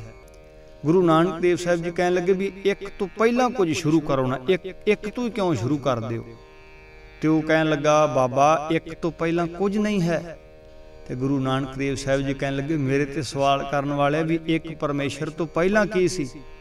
ਤੇਰੀ ਚੰਦ ਸ਼ਬਦਾਂ ਦੀ ਬਣਾਈ ਹੋਈ ਗਿਣਤੀ ਦੇ ਵਿੱਚ ਇੱਕ ਤੋਂ ਪਹਿਲਾਂ ਕੋਈ ਅਲਫਾਜ਼ ਨਹੀਂ ਸੀ। ਇਸੇ ਤਰ੍ਹਾਂ ਹੀ ਉਸ ਪਰਮੇਸ਼ਰ ਦੀ ਬਣਾਈ ਹੋਈ ਰਚਨਾ ਵਿੱਚ ਵੀ ਉਸ ਖੁਦਾ ਤੋਂ ਪਹਿਲਾਂ ਕੁਝ ਨਹੀਂ ਸੀ। ਉਹ ਆਪ ਹੀ ਹਰ ਇੱਕ ਥਾਂ ਤੇ ਵਾਪਰ ਰਿਹਾ ਸੀ। ਅਰਬਦ ਨਰਬਦ ਧੁੰਦੂ ਕਾਰਾ, ਪਵਨ ਨ ਗਗਨਾ ਹੁਕਮ ਅਪਾਰਾ ਨਾ ਦਿਨ ਰੈਣ ਨ ਚੰਦ ਨ ਸੂਰਜ ਸੁਨ ਸਮਾਦ ਲਗਾਏਂਦਾ ਉਹ ਹਰ ਇੱਕ ਥਾਂ ਦੇ ਉੱਤੇ ਜਦੋਂ ਦਿਨ ਨਹੀਂ ਸੀ ਰਾਤ ਨਹੀਂ ਸੀ ਕਿਉਂ ਕਿਉਂਕਿ ਚੰਦ ਨਹੀਂ ਸੀ ਸੂਰਜ ਨਹੀਂ ਸੀ ਧਰਤੀ ਨਹੀਂ ਸੀ ਆਕਾਸ਼ ਨਹੀਂ ਸੀ ਹਰ ਇੱਕ ਥਾਂ ਤੇ ਉਹ ਇਸ ਗੁਬਾਰ ਵਿੱਚ ਅੰਧਕਾਰ ਵਿੱਚ ਆਪ ਵਿਦਮਾਨ ਸੀ ਆਪ ਬੈਠਾ ਸੀ ਦਸਤਗੀਰ ਬੜਾ متاثر ਹੋਇਆ ਹੈਰਾਨ ਹੋਇਆ ਲਾ ਉੱਤਰ ਹੋ ਗਿਆ ਦੂਜਾ ਸਵਾਲ ਕਹਿਣ ਲੱਗੇ ਜੀ ਪਰਮੇਸ਼ਰ ਇੱਕ ਹੈ, ਉਹਦੇ ਤੋਂ ਪਹਿਲਾਂ ਵੀ ਉਹ ਆਪ ਸੀ। ਗੁਰੂ ਨਾਨਕ ਦੇਵ ਸਾਹਿਬ ਜੀ ਨੇ ਕਿਹਾ, ਆਦ ਸੱਚ, ਜੁਗਾਦ ਸੱਚ, ਹੈ ਵੀ ਸੱਚ, ਨਾਨਕ ਹੋਸੀ ਵੀ ਸੱਚ। ਕਹਿਣ ਲੱਗੇ, ਇਹ ਦੱਸੋ ਜੀ, ਉਹ ਪਰਮੇਸ਼ਰ ਇੱਕ ਹੈ, ਜੋ ਪਰਮਾਤਮਾ ਇੱਕ ਹੈ, ਤੇ ਉਹ ਰਹਿੰਦਾ ਕਿੱਥੇ ਹੈ? ਮੇਰਾ ਬਾਬਾ ਕਹਿਣ ਲੱਗਾ, ਦੁੱਧ ਮੰਗਾਓ। ਦੁੱਧ ਦਾ ਛੰਨਾ ਲਿਆਂਦਾ ਬੇਨਾਂ ਨੂੰ ਲੋਕਾਂ ਨੇ ਵੱਟੇ ਬਹੁਤ ਮਾਰੇ ਹੋਣਗੇ, ਪਰ ਕੋਈ ਦੁੱਧ ਪਾਣੀ ਨਹੀਂ ਕਿਸੇ ਨੇ ਪੁੱਛਿਆ ਹੋਵੇਗਾ ਭੁੱਖੇ ਹੋਣਗੇ। ਦੁੱਧ ਦਾ ਛੰਨਾ ਆ ਗਿਆ। ਇਹ ਵੀ ਆਪਣੇ ਕੋਲ ਰੱਖੋ। ਮੈਨੂੰ ਦੱਸੋ ਕਿ ਇਹਦੀ ਹਰ ਇੱਕ ਬੂੰਦ ਇਹਦੇ ਵਿੱਚ ਘਿਓ ਹੈ, ਇਹਦੇ ਵਿੱਚ ਮੱਖਣ ਹੈ। ਦਸਤਗੀਰ ਜੀ ਕਹਿਣ ਲੱਗੇ, ਜੀ ਹਾਂ ਜੀ, ਇਹ ਤੇ ਮੈਨੂੰ ਵੀ ਪਤਾ ਵੀ ਦੁੱਧ ਵਿੱਚ ਮੱਖਣ ਹੈ, ਘਿਓ ਹੈ। ਦਸਤਗੀਰ ਨੂੰ ਗੁਰੂ ਨਾਨਕ ਦੇਵ ਸਾਹਿਬ ਜੀ ਕਹਿਣ ਲੱਗੇ, ਵਿਖਾਓ ਕਿੱਥੇ ਹੈ? ਉਹ ਦਸਤਗੀਰ ਜੀ ਕਹਿਣ ਲੱਗੇ ਬਾਬਾ ਇਸ ਤਰ੍ਹਾਂ ਥੋੜਾ ਦਿਸੇਗਾ ਇਹਨੂੰ ਪਹਿਲਾਂ ਗਰਮ ਕਰਨਾ ਪਏਗਾ, ਜਾਗ ਲੱਗੇਗੀ, ਖੱਟਾ ਲਾਵਾਂਗੇ, ਇਹਨੂੰ ਕਿਸੇ ਕੱਪੜੇ 'ਚ ਲਪੇਟਾਂਗੇ, ਕਿਸੇ ਨਿੱਗੀ ਥਾਂ ਤੇ ਰੱਖਾਂਗੇ, ਫਿਰ ਇਹ ਜੰਮੇਗਾ, ਰੜਕਾਂਗੇ, ਫਿਰ ਕਿਤੇ ਜਾ ਕੇ ਮੱਖਣ ਕਿਉਂ ਨਿਕਲੇਗਾ। ਐਡਾ ਸੌਖਾ ਥੋੜੋ ਨਿਕਲੇਗਾ। ਕਹਿਣ ਲੱਗੇ ਬਾਹਰੋਂ ਤੇ ਨਹੀਂ ਆਉਂਦਾ, ਹੁਣ ਵੀ ਤੇ ਦੁੱਧ ਦੇ ਵਿੱਚ ਹੀ ਹੋਣ ਕਿਉਂ ਦਿਸਦਾ ਨਹੀਂ? ਕਹਿਣ ਲੱਗੇ ਜੀ, ਇਹ ਤਰੀਕਾ ਬਣਾਉਣਾ ਪਏਗਾ, ਫਿਰ ਇਹਦੇ ਵਿੱਚੋਂ ਹੀ ਪ੍ਰਗਟ ਹੋ ਜਾਏਗਾ, ਦਿਸ ਪਏਗਾ। ਕੀ ਇਸ ਦੁੱਧ ਦੇ ਵਿੱਚ ਬਾਹਰੋਂ ਪਾਇਆ ਜਾਏਗਾ, ਘਿਓ ਮੱਖ ਨਹੀਂ, ਜੀ ਇਹਦੇ ਵਿੱਚੋਂ ਹੀ ਬਣੇਗਾ। ਹਰ ਇੱਕ ਤੁਪਕੇ ਦੇ ਵਿੱਚ ਹੈ, ਹਰ ਇੱਕ ਬੂੰਦ ਦੇ ਵਿੱਚ ਹੈ, ਪਰ ਦਿਸਦਾ ਨਹੀਂ ਹੈ। ਗੁਰੂ ਨਾਨਕ ਦੇਵ ਸਾਹਿਬ ਜੀ ਕਹਿਣ ਲੱਗੇ ਇਸੇ ਤਰ੍ਹਾਂ ਹੀ, ਉਹ ਖੁਦਾ ਵੀ ਹਰ ਇੱਕ ਬੂੰਦ ਦੇ ਵਿੱਚ ਹੈ, ਹਰ ਇੱਕ ਜ਼ਰਰੇ ਜ਼ਰਰੇ ਦੇ ਵਿੱਚ ਹੈ, ਹਰ ਇੱਕ ਕਣ ਕਣ ਦੇ ਵਿੱਚ ਮੌਜੂਦ ਹੈ। ਪਰ ਉਹ ਦਿਸਦਾ ਨਹੀਂ ਹੈ, ਰਹਿੰਦਾ ਇਸ ਖਲਕਤ ਵਿੱਚ, ਰਹਿੰਦਾ ਇਸ ਬਣਾਵਟ ਵਿੱਚ, ਪਸਾਰੇ ਵਿੱਚ ਹੀ ਹੈ। ਪਰ ਉਹ ਦਿਸਦਾ ਨਹੀਂ ਹੈ, ਦਿਸਣ ਦੇ ਲਈ ਵੀ ਕੋਈ ਢੰਗ ਬਣਾਉਣਾ ਪੈਂਦਾ। ਸੇ ਅੱਖੜੀਆਂ ਬਿਆਨ ਜਿੰਨੀ ਦਸੰਦੋ ਮਾਪਰੀ ਉਹ ਅੱਖਾਂ ਹੋਰ ਹਨ ਜਿਨ੍ਹਾਂ ਨਾਲ ਰੱਬ ਦਿਸ ਪੈਂਦਾ ਹੈ, ਮਿਲ ਪੈਂਦਾ ਹੈ। ਰਹਿੰਦਾ ਜ਼ਰੇ ਜ਼ਰੇ ਵਿੱਚ ਹੈ, ਰਹਿੰਦਾ ਬੂੰਦ ਬੂੰਦ ਵਿੱਚ ਹੈ। ਇਹੋ ਜਗ ਸੱਚੇ ਕੀ ਹੈ, ਕੋਠੜੀ ਸੱਚੇ ਕਾ ਵਿਚਵਾਸ ਜਾਂ ਬਾਬੇ ਨਾਨਕ ਨੇ ਕਿਹਾ ਕਿ ਇਹ ਸਾਰਾ ਜਗਤ ਬਲਿਹਾਰੀ ਕੁਦਰਤ ਵਸਿਆ, ਤੇਰਾ ਅੰਤ ਨਾ ਜਾਈ ਲਖਿਆ। ਤੋ ਇਹ ਸਾਰੇ ਜਗਤ ਵਿੱਚ, ਬਣਾਵਟ ਵਿੱਚ ਆਪ ਵਸਿਆ ਹੋਇਆ ਇਸ ਇਸ ਨੂੰ ਬਣਾਉਣ ਵਾਲੇ, ਇਸ ਨੂੰ ਸੰਭਾਲਣ ਵਾਲੇ ਮੈਂ ਤੇਰੇ ਤੋਂ ਬਲਿਹਾਰ ਜਾਂਦਾ ਹਾਂ, ਵਾਰੀ ਜਾਂਦਾ ਹਾਂ, ਘੋਲੀ ਜਾਂਦਾ ਹਾਂ, ਅਸ਼ਕੇ ਜਾਂਦਾ ਹਾਂ। ਤੀਸਰਾ ਸਵਾਲ ਦਸਤਗੀਰ ਨੇ ਕੀਤਾ। ਕਹਿਣ ਲੱਗੇ, ਤੀਸਰਾ ਸਵਾਲ ਕੀ ਹੈ? ਮੇਰਾ ਤੀਜਾ ਸਵਾਲ ਇਹ ਹੈ ਵੀ ਉਹ ਪਰਮਾਤਮਾ ਕਰਦਾ ਕੀ ਹੈ, ਖੁਦਾ ਕਰਦਾ ਕੀ ਹੈ? ਬਾਬਾ ਨਾਨਕ ਕਹਿਣ ਲੱਗਾ ਵੀ ਤੁਸੀਂ ਸਵਾਲ ਤੇ ਸਵਾਲ ਕਰੀ ਜਾਂਦੇ ਹੋ। ਮੈਂ ਇੱਥੇ ਤੁਹਾਡੇ ਥੱਲੇ ਖੜਾ ਤੁਸੀਂ ਉੱਪਰ ਬੈਠੇ ਹੋ। ਇਹ ਤਹਿਜ਼ੀਬ ਦੀ ਗੱਲ ਨਹੀਂ ਹੈ। ਜਿਹੜਾ ਸਵਾਲ ਕਰਨ ਵਾਲਾ ਹੁੰਦਾ, ਉਹ ਥੱਲੇ ਖੜਾ ਹੁੰਦਾ, ਸਵਾਲਾਂ ਦੇ ਜਵਾਬ ਦੇਣ ਵਾਲਾ ਉੱਪਰ ਆਉਂਦਾ ਹੈ। ਇੱਜ਼ਤ ਵਿੱਚ, ਅਦਬ ਦੇ ਵਿੱਚ ਆਪਣੀ ਗੱਦੀ ਛੱਡੀ। ਆਪ ਗੁਰੂ ਨਾਨਕ ਦੇਵ ਸਾਹਿਬ ਜੀ ਦੇ ਥਾਂ ਤੇ ਜਾ ਕੇ ਖਲੋ ਗਏ। ਗੁਰੂ ਨਾਨਕ ਦੇਵ ਸਾਹਿਬ ਜੀ ਨੂੰ ਆਪਣੇ ਸਿੰਘਾਸਣ, ਆਪਣੇ ਆਸਣ ਤੇ ਬਿਠਾਇਆ। ਸਾਧ ਸੰਗਤ ਜੀ ਗੁਰੂ ਨਾਨਕ ਦੇਵ ਸਾਹਿਬ ਜੀ ਕਹਿਣ ਲੱਗੇ, ਦੱਸੋ ਤੁਹਾਡਾ ਸਵਾਲ ਕੀ ਸੀ? ਦਸਤਗੀਰ ਜੀ ਕਹਿਣ ਲੱਗੇ, ਮੇਰਾ ਤੀਸਰਾ ਸਵਾਲ ਇਹ ਸੀ ਵੀ ਬਾਬਾ, ਰੱਬ ਦਾ ਕੰਮ ਕੀ ਹੈ? ਪਰਮੇਸ਼ਰ ਜੀ, ਖੁਦਾ ਜੀ ਕਰਦੇ ਕੀ ਹਨ? ਤੇ ਗੁਰੂ ਨਾਨਕ ਦੇਵ ਸਾਹਿਬ ਜੀ ਕਹਿਣ ਲੱਗੇ, ਹਾਲੇ ਵੀ ਪੁੱਛਦੇ ਹੋ ਵੀ ਉਹ ਪਰਮੇਸ਼ਰ ਜੀ ਕੀ ਕਰਦੇ ਹਨ? ਤੇਰੇ ਸਾਹਮਣੇ ਏਡੀ ਵੱਡੀ ਘਟਨਾ ਹੋ ਗਈ ਵੀ ਤੈਨੂੰ ਤਖਤ ਤੇ ਬੈਠੇ ਨੂੰ, ਗੱਦੀ ਤੇ ਬੈਠੇ ਨੂੰ ਥੱਲੇ ਲੈ ਜਾਂਦਾ ਤੇ ਮੈਨੂੰ ਥੱਲੇ ਖਲੋਤੇ ਨੂੰ ਆਸਣ ਤੇ ਬਿਠਾ ਦਿੱਤਾ। ਇਹੀ ਤੇ ਪਰਮੇਸ਼ਰ ਕਰਦਾ ਹੈ ਕਿ ਤਖਤਾਂ ਵਾਲਿਆਂ ਨੂੰ ਤਖਤ ਤੇ ਲੈ ਆਉਂਦਾ ਹੈ ਤੇ ਤਖਤਾਂ ਵਾਲਿਆਂ ਨੂੰ ਤਖਤਿਆਂ ਤੇ ਪਟਕਾ ਦਿੰਦਾ ਹੈ। ਬਾਣੀ ਦਾ ਫੈਸਲਾ ਹੈ, ਖਿਨ ਮਹਿ ਰਾਉ ਰੰਕ ਕੋ ਕਰਈ ਰਾਉ ਰੰਕ ਕਰ ਡਾਰੈ, ਰੀਤੇ ਭਰੇ ਭਰੇ ਸਖਨਾਵੈ, ਇਹ ਤਾਂ ਕੋ ਵਿਵਹਾਰ ਹੈ। ਇਹ ਉਹਦਾ ਵਿਹਾਰ ਹੈ, ਭਰਿਆਂ ਹੋਇਆਂ ਨੂੰ ਖਾਲੀ ਕਰ ਦਿੰਦਾ ਹੈ, ਖਾਲੀਆਂ ਨੂੰ ਭਰ ਦਿੰਦਾ ਹੈ। ਰੁਲਦੇ ਫਿਰਦਿਆਂ ਨੂੰ ਇੱਜ਼ਤ ਦੇ ਦਿੰਦਾ ਹੈ। ਇੱਜ਼ਤਦਾਰ ਬੰਦਿਆਂ ਨੂੰ ਖਾਕ ਵਿੱਚ ਰੋਲ ਦਿੰਦਾ ਹੈ। ਸਿੰਘਾਸਣਾਂ ਤੇ ਬੈਠਿਆਂ ਹੋਇਆਂ ਨੂੰ ਧਰਤੀ ਤੇ ਪਟਕ ਦਿੰਦਾ ਹੈ। ਧਰਤੀ ਤੇ ਪਟਕਿਆਂ ਹੋਇਆਂ ਨੂੰ ਮਾਣ ਵਡਿਆਈ ਇੱਜ਼ਤ ਦਵਾ ਦਿੰਦਾ ਹੈ। ਇਹ ਉਹਦਾ ਕੰਮ ਹੈ। ਮੈਂ ਹੁਣੇ ਥੱਲੇ ਖੜਾ ਸੀ। ਤੂੰ ਹੁਣੇ ਹੁਣੇ ਗੱਦੀ ਤੇ ਬੈਠਾ ਸੀ। ਇਹ ਪਰਮੇਸ਼ਰ ਦੀ ਖੇਡ ਵਾਪਰੀ ਵੀ ਤੂੰ ਥੱਲੇ ਖੜਾ ਹੈ ਤੇ ਮੈਂ ਉੱਪਰ ਬੈਠਾ ਹਾਂ। ਇਸ ਤਰ੍ਹਾਂ ਦੀ ਜਦੋਂ ਗੱਲ ਸੁਣੀ ਪੀਰ ਦਸਤਗੀਰ ਗੁਰੂ ਨਾਨਕ ਦੇਵ ਸਾਹਿਬ ਜੀ ਦੀ ਬੜੀ ਅਦਬ ਵਿੱਚ ਆ ਕੇ ਝੁਕੇ, ਬੜੀਆਂ ਗੁਰਮਤ ਦੀਆਂ ਵਿਚਾਰਾਂ ਹੋਈਆਂ। ਇਸੇ ਤਰ੍ਹਾਂ ਜਦੋਂ ਹਿੰਦੂ ਧਾਰਮਿਕ ਸਥਾਨਾਂ ਵੱਲ ਗੁਰੂ ਨਾਨਕ ਦੇਵ ਸਾਹਿਬ ਜੀ ਗਏ, ਉੱਥੇ ਵੀ ਬੜੇ ਤਰ੍ਹਾਂ ਦੇ ਕੌਤਕ ਹੋਏ ਸਾਧ ਸੰਗਤ ਜੀ। ਐਮਨਾਬਾਦ ਦੀ ਧਰਤੀ ਤੇ ਰਹਿਣ ਵਾਲੇ ਭਾਈ ਲਾਲੋ ਦੇ ਘਰ ਦੇ ਵਿੱਚ ਜਾ ਕੇ ਗੁਰੂ ਨਾਨਕ ਦੇਵ ਸਾਹਿਬ ਜੀ ਨੇ ਦਾ ਬੂਹਾ ਖੜਕਾਇਆ, ਤਰਖਾਣਾ ਕੰਮ ਕਰਦੇ ਸਨ। ਜਦੋਂ ਬੂਹਾ ਖੋਲਿਆ ਤੇ ਰੋਜ਼ ਜਿਸ ਗੁਰੂ ਨੂੰ ਯਾਦ ਕਰਦੇ ਸਨ, ਉਹਨਾਂ ਨੂੰ ਆਪਣੇ ਬੂਹੇ ਤੇ ਵੇਖ ਕੇ ਸੁਰਤ ਬੜੀ ਹੈਰਾਨ ਹੋਈ। ਗੁਰੂ ਨਾਨਕ ਦੇਵ ਸਾਹਿਬ ਜੀ ਦੀ ਕਦਮ ਬੋਸੀ ਕੀਤੀ, ਬੜੇ ਅਦਬ ਨਾਲ ਘਰ ਵਿੱਚ ਲੈ ਕੇ ਗਿਆ ਤੇ ਨਾਲ ਇਸ ਗੱਲੋਂ ਡਰਦਾ ਵੀ ਹੈ ਵੀ ਬਾਬਾ ਮੈਂ ਤਰਖਾਣਾ ਕੰਮ ਕਰਨ ਵਾਲਾ ਖੌਤੀ ਸ਼ੂਦਰ ਹਾਂ। ਤੁਸੀਂ ਖੱਤਰੀਆਂ ਦੇ ਲੜਕੇ ਹੋ, ਤੁਸੀਂ ਖੱਤਰੀਆਂ ਦੇ ਘਰ ਵਿੱਚ ਜਨਮ ਲੈਣ ਵਾਲੇ ਹੋ। ਲੋਕ ਕਿਤੇ ਮੈਨੂੰ ਕਹਿਰ ਦੀ ਨਜ਼ਰ ਨਾਲ ਨਾ ਵੇਖਣ, ਲੋਕ ਕਿਤੇ ਕੋਈ ਆਣ ਹੋਈ ਨਾ ਕਰ ਦੇਣ। ਮੇਰੇ ਬਾਬੇ ਨੇ ਸਮਝਾਇਆ ਕਿ ਮਨੁੱਖ ਕਰਮ ਕਰਕੇ ਸ਼ੂਦਰ ਹੈ। ਮਨੁੱਖ ਆਪਣੇ ਕੰਮ ਕਰਕੇ ਛੋਟਾ ਹੈ, ਆਪਣੇ ਜਨਮ ਕਰਕੇ, ਆਪਣੇ ਮਾਤਾ ਦੇ ਉਦਰ ਕਰਕੇ ਕਿਸੇ ਦੀ ਜਾਤ ਛੋਟੀ ਨਹੀਂ ਹੁੰਦੀ ਹੈ। ਗੁਰਮਤ ਦਾ ਇਹ ਫੈਸਲਾ ਹੈ, ਗੁਰਬਾਣੀ ਦਾ ਇਹ ਸਿਧਾਂਤ ਹੈ ਕਿ ਸਾ ਜਾਤ, ਸਾ ਪਤ ਹੈ ਜਿਹੇ ਕਰਮ ਕਮਾਏ ਜਿਉ ਜੇ ਕੰਮ ਕਰਦਾ ਬੰਦੇ ਦੀ ਜਾਤ ਉਸ ਤਰ੍ਹਾਂ ਦੀ ਹੋ ਜਾਂਦੀ ਹੈ। ਜਿਸ ਤਰ੍ਹਾਂ ਦਾ ਉਹ ਕੋਈ ਕਾਰਜ ਕਰਦਾ ਹੈ, ਉਸੇ ਤਰ੍ਹਾਂ ਦੀ ਉਹਦੀ ਜਾਤ ਪਤ ਬਣ ਜਾਂਦੀ ਹੈ।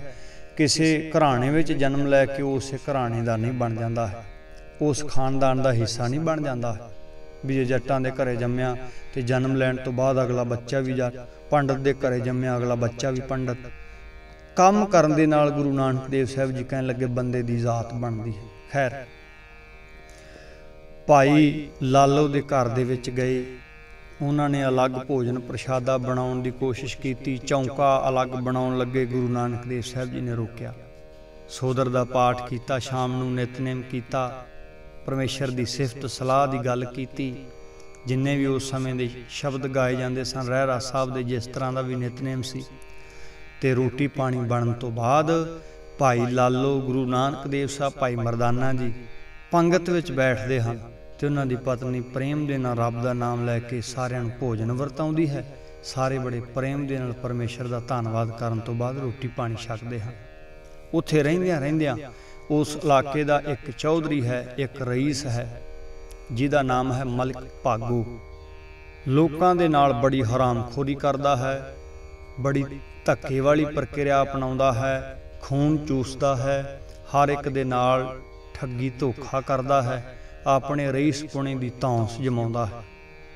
ਉਹਨੇ ਬ੍ਰਹਮ ਭੋਜ ਕੀਤਾ। ਸਾਰੇ ਇਲਾਕੇ ਦੇ ਆਮ ਲੋਕਾਂ ਨੂੰ ਸੱਦਿਆ, ਖਾਸ ਲੋਕਾਂ ਨੂੰ ਸੱਦਿਆ, ਧਾਰਮਿਕ ਲੋਕਾਂ ਨੂੰ ਸੱਦਿਆ, ਰਾਜਨੀਤਿਕ ਲੋਕਾਂ ਨੂੰ ਬੁਲਾਇਆ। ਸਾਰੇ ਆ ਗਏ। ਤੇ ਉਹਨੇ ਸੁਣ ਰੱਖਿਆ ਸੀ ਕਿ ਇਸ ਇਲਾਕੇ ਵਿੱਚ ਗੁਰੂ ਨਾਨਕ ਦੇਵ ਸਾਹਿਬ ਜੀ ਵੀ ਆਏ ਹੋਏ ਹਨ। ਗੁਰੂ ਨਾਨਕ ਦੇਵ ਸਾਹਿਬ ਜੀ ਨੂੰ ਵੀ ਸੁਨੇਹਾ ਭੇਜਿਆ। ਸਾਰੇ ਲੋਕ ਚਲੇ ਗਏ, ਉਹਦੇ ਬ੍ਰਹਮ ਭੋਜ ਤੇ 36 ਪ੍ਰਕਾਰ ਦੇ ਭੋਜਨ ਸਾਰੇ ਖਾ ਰਹੇ ਹਨ। ਪਰ ਮੇਰਾ ਬਾਬਾ ਨਾਨਕ ਨਹੀਂ ਗਿਆ। ਜਦੋਂ ਵੇਖਿਆ ਬਾਬਾ ਨਾਨਕ ਨਹੀਂ ਆਇਆ, ਮੇਰਾ ਜੱਗ ਸਫਲ ਨਹੀਂ ਹੋਏਗਾ। ਤੇ ਉਹਨਾਂ ਨੇ ਫਿਰ ਸੁਨੇਹਾ ਭੇਜਿਆ ਗੁਰੂ ਨਾਨਕ ਦੇਵ ਸਾਹਿਬ ਨਹੀਂ ਗਏ। ਫਿਰ ਉਹਨੇ ਸੈਨਿਕ ਭੇਜ ਕੇ ਗੁਰੂ ਨਾਨਕ ਦੇਵ ਸਾਹਿਬ ਜੀ ਨੂੰ ਜਿਵੇਂ ਕਹ ਲਈਏ ਪਕੜ ਕੇ ਲਿਆਂਦਾ। ਗੁਰੂ ਨਾਨਕ ਦੇਵ ਸਾਹਿਬ ਜੀ ਨੇ ਨਿਡਰ ਆਵਾਜ਼ ਦੇ ਵਿੱਚ, ਕੜਕ ਦੇ ਸ਼ਬਦਾਂ ਵਿੱਚ ਇਹ ਕਿਹਾ ਕਿ ਜਿਸ ਖੂਨ, ਜਿਸ ਭੋਜਨ ਵਿੱਚ, ਜਿਸ ਬਣੇ ਹੋਏ ਪਦਾਰਥ ਦੇ ਵਿੱਚ ਲੋਕਾਂ ਦੇ ਹੌਂਕੇ ਲੋਕਾਂ ਦਾ ਖੂਨ ਪਸੀਨਾ ਰਲਿਆ ਹੋਵੇ, ਉਸ ਭੋਜਨ ਨੂੰ ਖਾਣਾ ਕਦੇ ਵੀ ਗੁਰੂ ਨਾਨਕ ਦੇਵ ਸਾਹਿਬ ਜੀ ਕਹਿਣ ਲੱਗੇ ਮੈਂ ਪਸੰਦ ਨਹੀਂ ਕਰਦਾ। ਭਾਈ ਲਾਲੋ ਦੇ ਘਰ ਦੇ ਲਿਆਂਦੇ ਹੋਏ ਟੁਕੜੇ ਵਿਖਾਏ। ਕਹਿਣ ਲੱਗੇ, ਰੋਟੀ ਭਾਵੇਂ ਸੁੱਕੀ ਹੈ, ਭਾਵੇਂ ਇਹਦੇ ਨਾਲ ਕੁਝ ਖਾਣ ਦੇ ਲਈ ਬਹੁਤਾ ਪਾਏਦਾਰ ਚੀਜ਼ ਨਹੀਂ ਬਣਦੀ ਹੈ, ਪਰ ਇਹ ਕਿਰਤ ਦੀ ਬਣਾਈ ਹੋਈ, ਇਹ ਹੱਕ ਹਲਾਲ ਦੀ ਬਣਾਈ ਹੋਈ ਰੋਟੀ ਨੂੰ ਖਾ ਕੇ ਬੜਾ ਸਕੂਨ ਮਿਲਦਾ ਹੈ। ਤੇਰੇ ਭੋਜਨ ਵਿੱਚ ਖੂਨ ਹੈ ਇਸ ਭੋਜਨ ਵਿੱਚ ਦੁੱਧ ਹੈ। ਤੇਰੇ ਭੋਜਨ ਦੇ ਵਿੱਚ ਲੋਕਾਂ ਦਾ ਮਾਰਿਆ ਹੋਇਆ ਹੱਕ ਹੈ ਤੇ ਉਹਦੀ ਬਦਬੂ ਹੈ।